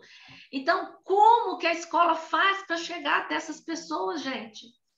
Não estou não tô, não tô me referindo à distância. Nós andamos, o grilo, o motorista grilo foi comigo. Não é a distância é, é física, não. É, é, é, a distância mesmo de pensamento. As pessoas, eles, eles sequer lâmpada, é, luz elétrica eles tinham. Como que esse aluno, filho dessa família, acessa um currículo duro? com física, com matemática, com informática, com professores que não têm noção do que esses meninos passam com aquela, aquelas listas de exercício enorme, aqueles textos de, de literatura portuguesa que não tem, não faz parte do cotidiano deles. Então, essas duas situações me marcaram muito e eu fiquei assim, muito é, é, convencida de que o problema somos nós e não eles. Quem fala é Jones ou Adilson? posso falar rapidinho, Adilson? Pode ser? É o, além... Enquanto a gente fala, eu vou só é, destacar aqui, enfatizar, que o pessoal que está nos assistindo pode fazer perguntas direcionadas aonde, né? Faça a pergunta e, e indique para quem que você quer, ou se todos respondem, ou quem que você quer que responda. Por favor, pode, pode colocar a pergunta no chat que a gente vai fazê-la aqui na sala. Obrigada. Desculpa. Pode falar, Tiago. Tudo bem. A minha colocação é mais geral, no sentido da questão do protagonismo mesmo, que quando é, você transforma o aluno em protagonista, eles sempre mostram e criam estratégias bem interessantes para potencializar o ensino, de, o processo de ensino-aprendizagem. É, experiências como essas que eu fiz, eu sempre digo que quem acaba aprendendo no final das contas somos nós, porque por mais que foi bem falado agora a questão do currículo oficial, e também das nossas práticas, e muitas vezes elas são tradicionais mesmo, quando a gente consegue falar a linguagem do estudante, como que o ensino se torna mais agradável, prazeroso e interessante para eles, né? Então, assim, eu tive experiências bem interessantes a partir dessa experiência de você colocar o, o discente como protagonista e como o, o agente da produção do conhecimento e também esse agente de transformação transformador, vamos assim dizer, da realidade através do currículo, né? É pegar um elemento às vezes tradicional, uma narrativa tradicional, por exemplo, como é, Revolução Francesa, que é o que está me vindo à mente aqui agora, e criar estratégias diferenciadas para que o aluno entenda a linguagem deles e extrapolar esse currículo relacionando com aspectos políticos, econômicos, sociais e também culturais da sua realidade. É isso? Wilson. Bom, eu acho que os dois professores falaram o que eu ia falar, e só complementando, é a minha experiência, o que foi mais impactante, teve dois lados. O meu lado pessoal e o meu lado profissional. O lado pessoal, porque, como eu disse, eu sou técnico pela, pela antiga escola técnica, que virou IFES, é, bacharel pela UFES e mestre pela Libera Universidade de Bolzano. E eu imaginava começar minhas aulas de informática para a geração Z, que já sabem mais do que eu, falando de coisas avançadas, falando de inteligência artificial, falar de internet das coisas, falar de proteção à privacidade, porque eu estava olhando do meu lado. Só que eu, eu não sou um professor para mim mesmo, eu tenho que ensinar o aluno, não tenho que olhar para o meu lado, tenho que olhar o lado do aluno. E eu vi que, ao mesmo tempo, eles sabiam várias coisas que estavam. Para eles é mais natural. Às vezes eu sabia mais do que eles, mas eles, eu demorava dias para aprender, eles demoravam segundos para aprender. E depois de olhar, olhar o lado do aluno, eu tinha que olhar o lado da, da região. Como o Jones falou, a gente trabalha junto lá e é o Wakanda. É, a região é riquíssima. E, é, e eu já conhecia, por exemplo, Luiz Martins, Santa Teresa, não conhecia Santa Maria de Tibá e o lugar é lindo, é rico em todos os sentidos. E da natureza, do, do, da indústria, da agroindústria e dos alunos. Então, foi dobrar minhas perspectivas, minhas expectativas para é, fazer algo que fosse interessante é, para a comunidade, como a professora Dora falou. Tem uma comunidade que está que eles precisam muito, às vezes nem sabem do que eles precisam, mas eles precisam muito do nosso trabalho e a gente tem que. Não é a gente impor para a gente falar, olha, é disso que vocês precisam, toma. Não, é você ouvir porque eles precisam, é só perguntar. Aí, como o professor Jones falou, é se tornar presente. E o melhor jeito que eu percebi de fazer isso no meu trabalho foi de colocar os alunos para trabalhar. Eles são os protagonistas. A gente está lá para ajudar eles. É muito interessante que nós, nós teríamos a apresentação de seis trabalhos e os outros né, três não estão presentes, mas assim, como que a articulação que eu vejo nas falas, né? Por exemplo, são assuntos bem diferentes e, e, aplicados em situações também distintas, mas eu vejo assim uma preocupação muito nítida nos três trabalhos, né? Dessa de buscar essa, de buscar comunidade, de buscar esse saber que, que muitas vezes não, a grande maioria das vezes não é não é ouvido, não é colocado em destaque no processo né, de ensino, e eu vejo, eu, fica até emocionado, porque realmente é, é, a gente tem que pensar a escola e o processo de ensino de maneira diferenciada, e agora mais ainda, porque depois do momento do, do, do pós, né? É, esse momento pós-pandêmico, eu acho que nós não somos mais, com certeza, nós não somos os mesmos, a escola não é a mesma, né? E nós estamos a cada dia, o, o, o Adilson da área de informática, ele deve sentir menos, talvez, impacto do que nós de, de, outras áreas, né? Mas, assim, o, a revolução tecnológica, esses, esse impacto todo em relação a essa, a, a, as mídias, o acesso, né? O acesso do, do, do, da sociedade, do, mesmo de, das pessoas com menos recurso, esse acesso não há talvez ao conhecimento, porque ainda não foi dado a ele essa possibilidade de alguém ouvir para saber o que, que ele precisa, né? Porque muitas vezes ele tem muita informação, mas ele não consegue estruturar aquela informação para gerar um conhecimento. Ele precisa, então, do mediador. Foi o que o, o Adilson disse, né? E acho interessante quando, ele, quando o Lucas fala, o Lucas, o Jones fala do, do teatro e do cinema, eu também sou apaixonada, eu acho que é, Dora sabe, assim, eu, eu, sou apaixonada com com, com alguns instrumentos da arte para utilizar como instrumento é, de recurso pedagógico, né? E o cinema é uma, é, é assim, uma, uma, perspectiva muito próxima, que eu também já usei, e, e essa questão de trabalhar o interdisciplinar nessa, nessa perspectiva com esse instrumento é muito, mas muito né? É muito interessante e rica, porque é isso que, o, que vocês falaram. Cresce o aluno, né? a gente fala do protagonismo do aluno e o professor. O professor cresce muito mais e também o processo de ensino, porque, porque o processo é esse, como o Freire fala, né? Enquanto você ensina, você aprende. Porque se isso não acontecer, a gente não ouve o diálogo, né? O dialógico no processo de formação tem que haver esse, essa, essa afetividade dos dois lados. Eu pedi para para Natasha verificar, não houve nenhuma pergunta do, no chat para vocês. Então, eu vou fazer o seguinte: eu vou fazer uma última pergunta para fechar. É, eu, eu, assim, também é, é uma pergunta para todos, né? Eu Geralda, queria que. Ah. Geraldo, só um minutinho. É só uma. Eu estou lembrando aqui do Cine Clube que você criou no campus de Vila Velha, se lembra?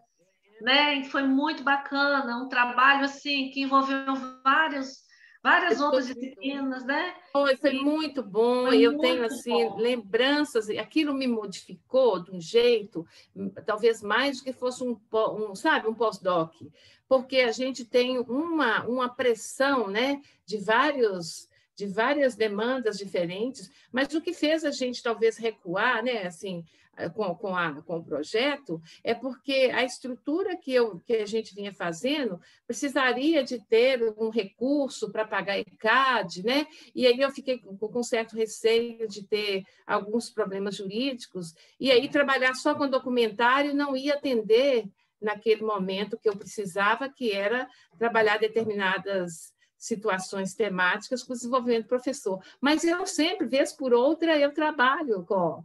Por isso que eu ia perguntar para o Jones, mas talvez um tempo, talvez não dê, é se nessa atividade que ele fez com o cine, né, com o cinema e com o teatro, se ele fez seleção de alguns filmes para fazer uma provocação inicial ou se foi uma, de uma forma mais aberta, assim, mais espontânea.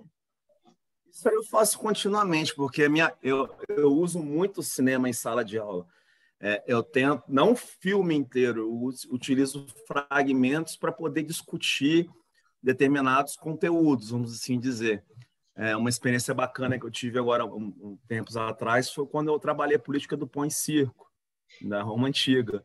É, eu usei desde os fragmentos do filme Thor Ragnarok até o Gladiador, e fazendo essa relação do conteúdo com aspectos cotidianos.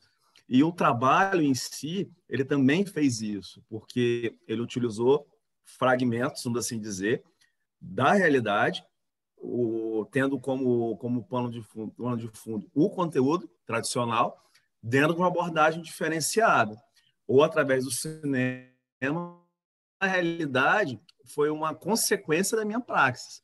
É óbvio que, algum, que alguns momentos, por mais que a gente tente, a gente acaba tendo algumas, algumas posturas tradicionais em sala de aula.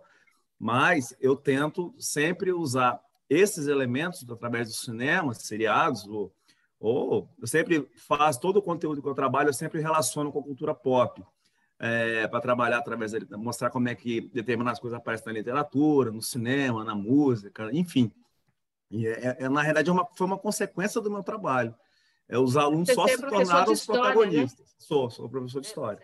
Eu acho que não tem outro jeito de trabalhar histórias não usando a arte sabe? Não só o cinema, mas a música, né? O teatro, o cinema, a poesia. É, é por aí. Parabéns para os três, que eu gostei demais. Eu, a, gente, a gente consegue, ouvindo vocês, assim, ficar estimulado também a outras perspectivas.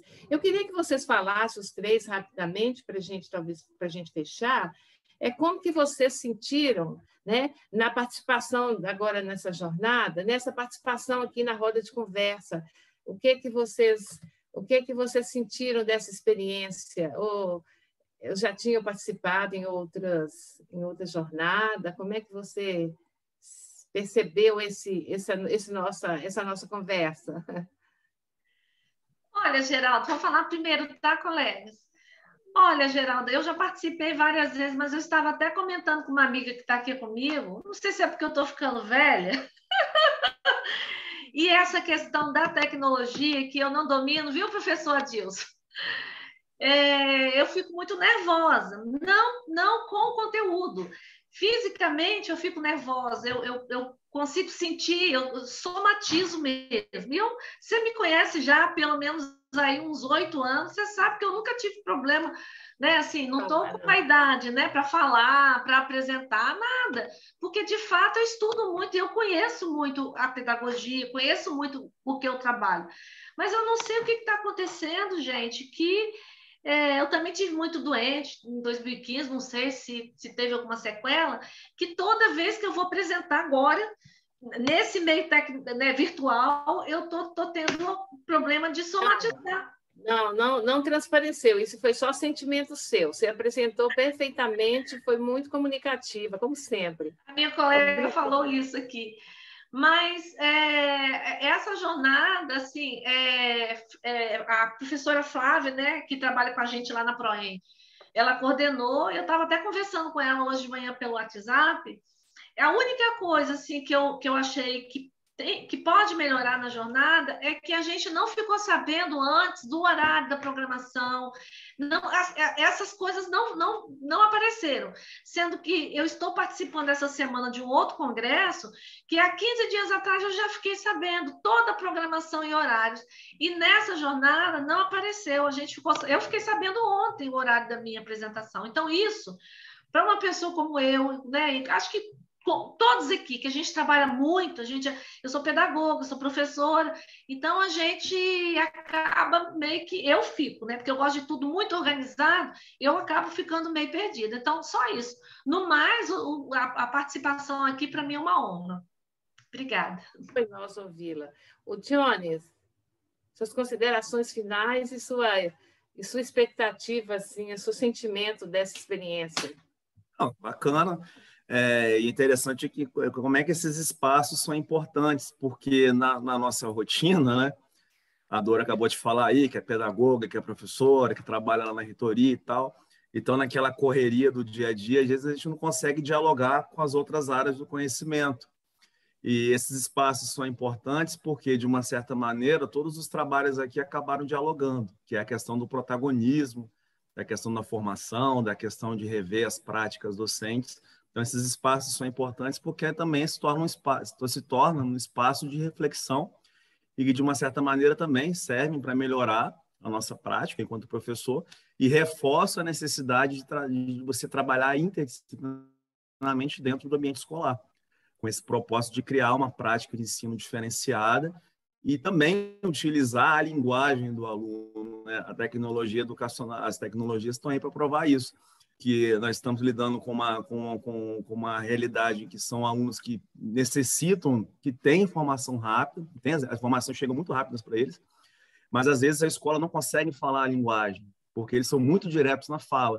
Então, quando você cria então esses, esses espaços de, de, discussão, de formação, você acaba também criando e construindo perspectivas diferenciadas que vão potencializar o processo de ensino-aprendizagem. E também refletir a nossa prática, né? que eu acho que também é o mais importante de tudo. Obrigada. Adilson.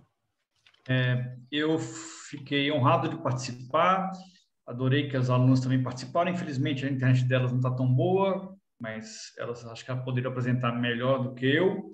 E eu digo isso, professora Dora, porque é normal ficar perdido. Você não, eu não, você não transpareceu nada, nenhum tipo de problema, mas é normal ficar perdido. Desde 90, tralalá, eu estudo informática e geralmente o que eu estudo não vale nada daqui dois anos. Às vezes eu penso, poderia ter feito matemática, porque aí matemática, um mais um é igual a dois faz tempo. E é normal. E eu é, acho que a jornada de integração está sendo muito valiosa, porque ela, como o próprio nome disse, ela está integrando. Nós temos trabalhos que muito próximos que estão sendo integrados. Como o professor Jones falou, está mostrando como a gente tem que lidar com a interdisciplinaridade. A vida é interdisciplinar, no meu caso. O aluno vai trabalhar com computador, na vida real, ninguém, ninguém vai pedir para ele, ah, escreve um texto qualquer aí, formata na BNT. Não, vai vai pedir outra coisa, vai, vai ser uma ferramenta para ele atingir outras coisas. E a gente está conseguindo isso. É, acho que o IF está de parabéns, tanto no ensino como na pesquisa e na extensão. Gente, eu estou assim muito emocionada porque a gente cumpriu com tudo. Eu conheci o, o, o Adilson Jones, revi a Dora, e foram assuntos assim muito interessantes. poderíamos ter mais tempo, mas a gente talvez depois a gente pode até pensar, né, em outras articulações, porque eu também gostei. Eu acho que a gente falta, eu não conheço, só você ver, eu não conhecia os, os, colegas, né? E muitos não se conhecem, e muitas vezes a gente podia se, né? A gente podia fazer trocas é, muito enriquecedoras, e, e muitas vezes a gente, por falta mesmo de uma de uma estrutura e é, então a jornada está de parabéns porque ela propiciou, né, e propicia esse encontro. Eu vou agradecer a presença de todos na que estão nos ouvindo, estão é, prestigiando né, a, a, as falas aqui da, da, da, nossa roda de conversa. Agradecer à professora Dora, ao professor Jones e o professor Adilson, as alunas que tentaram, mas por problemas técnicos na internet também não conseguiram falar, mas a gente parabeniza é, em, é, em, nome né, da, aqui do, dos professores da roda de conversa o, pelo trabalho de vocês. Vocês foram realmente é, umas é, é, é, isso que tem que se fazer, né? buscar essa complementação na formação é, é, no campo, né? tentando ajudar a comunidade, porque é isso, Edora disse muito bem, nós somos um instituto e é uma instituição pública, e se é pública é de todos, né? Então é muito importante que a gente que tenha condição de contribuir, de levar informação para a comunidade, que a gente faça. Parabéns, professor Adilson, as alunas, o Jones e a Dora. Eu convido vocês a, a continuar conosco no encerramento, né? Nós temos uma sessão de encerramento que começa agora às 17h30, e nós estamos exatamente saindo de uma sala indo para outra. Muito obrigada de coração, até breve. Até breve. Obrigada, gente. Até, pessoal. Oh, prazer. Prazer também. Prontinho, pessoal. Obrigada, tá bom?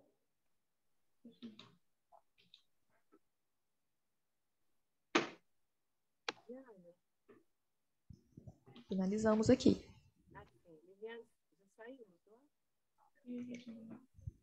Oi?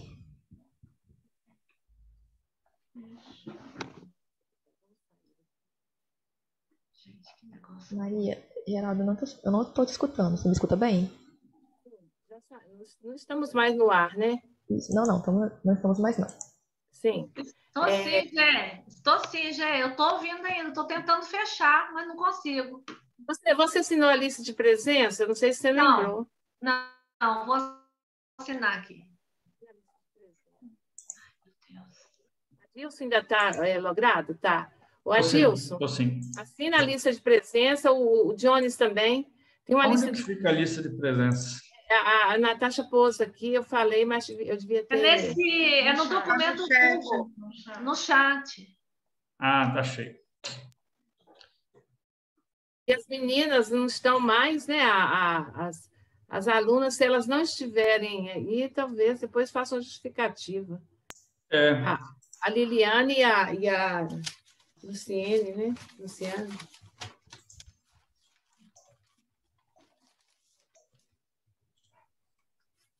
Fica- as- a- Conseguiu acessar? Vai, filha, vai. Depois a gente vai conversando. Eu vou conversar com a Ana, depois qualquer coisa a gente te liga. A gente faz uma. Pessoal, vocês precisam de ajuda com alguma coisa? É a lista de presença que, que foi colocada aqui no chat. E não, eles eu não estou assinando. Não, eu estou conseguindo. Está conseguindo? Ah, tá. Então, Aham. espera um pouquinho, Dora. Está conseguindo. Já fica assinado, que isso é importante. Eu também acabei que eu não.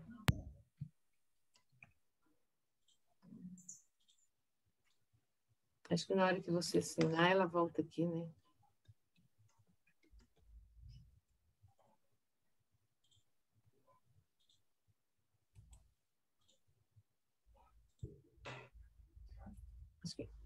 Pronto, assinei. É, vocês querem que eu já assine para as alunas que caíram?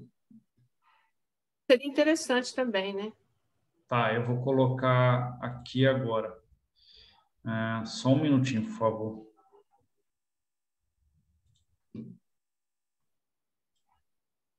Acha?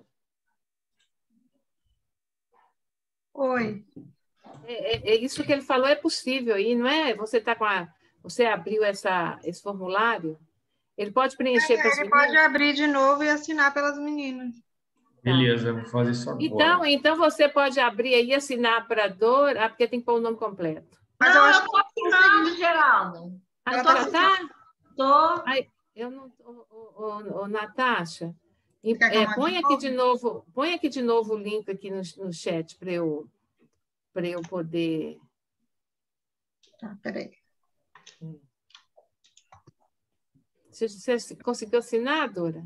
Sim, acabei de assinar. Eu estou assinando ainda. Só um minuto.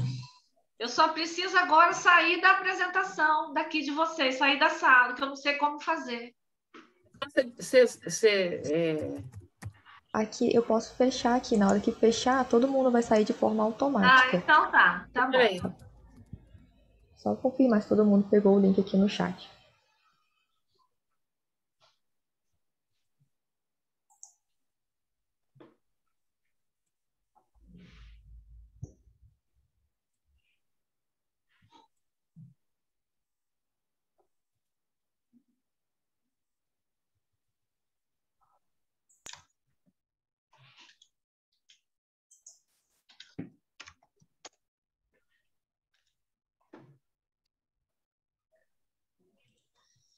Um minutinho, pessoal, que eu estou pegando os dados delas aqui.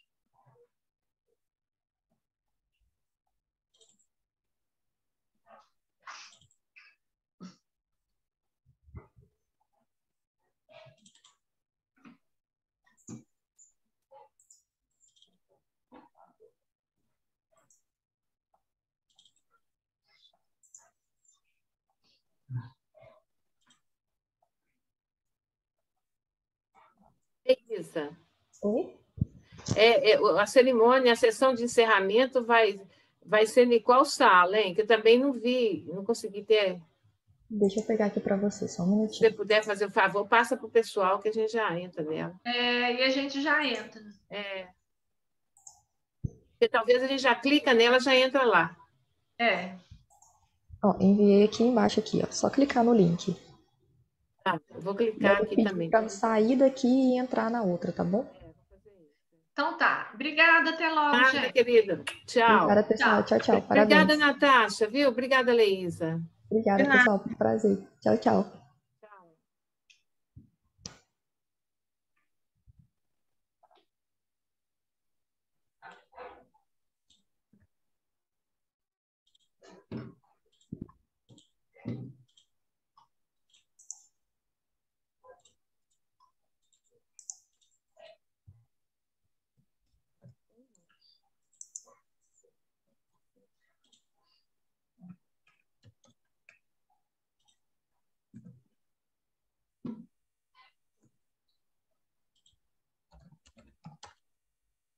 Todo mundo conseguiu clicar aqui no link? Eu consegui, mas não estou conseguindo entrar, não. Iniciar reunião, não entra. Eu vou sair de tudo. É o mesmo, é o mesmo. Beleza, pessoal. Consegui assinar a lista de presença para as meninas. Elas me passaram os dados agora pelo WhatsApp, que não precisa de muita conexão. Né? E para a cerimônia, a gente faz o quê? É só clicar nesse link aqui? Isso, pode clicar nele. Deve aparecer a opção para você sair e entrar no. Clicando nele, não estou conseguindo. É, vou ver se eu consigo. Vou sair aqui. Você pode é, deixar ele salvo na sua aba de, navega de navegador. E na hora que você sair aqui, você clica lá.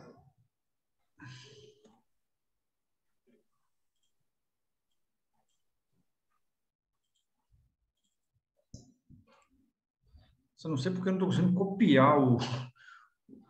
Ah, Tiruja, não tem como copiar realmente. Ele não possibilita. Ah, então tá. Mas se, se eu. Peraí que eu vou ter que anotar, então, senão eu vou, eu vou ser expulso Você dessa pode clicar no, no link. Só o link já basta ou tem que o o ID? link já basta. Não, não. Ah, assim, show, você obrigado. pode usar, usar também, mas se você quiser usar somente o link, você consegue também. Quando você clicar, em alguns casos ele já aparece a opção de assim, é, sair da reunião e entrar na outra.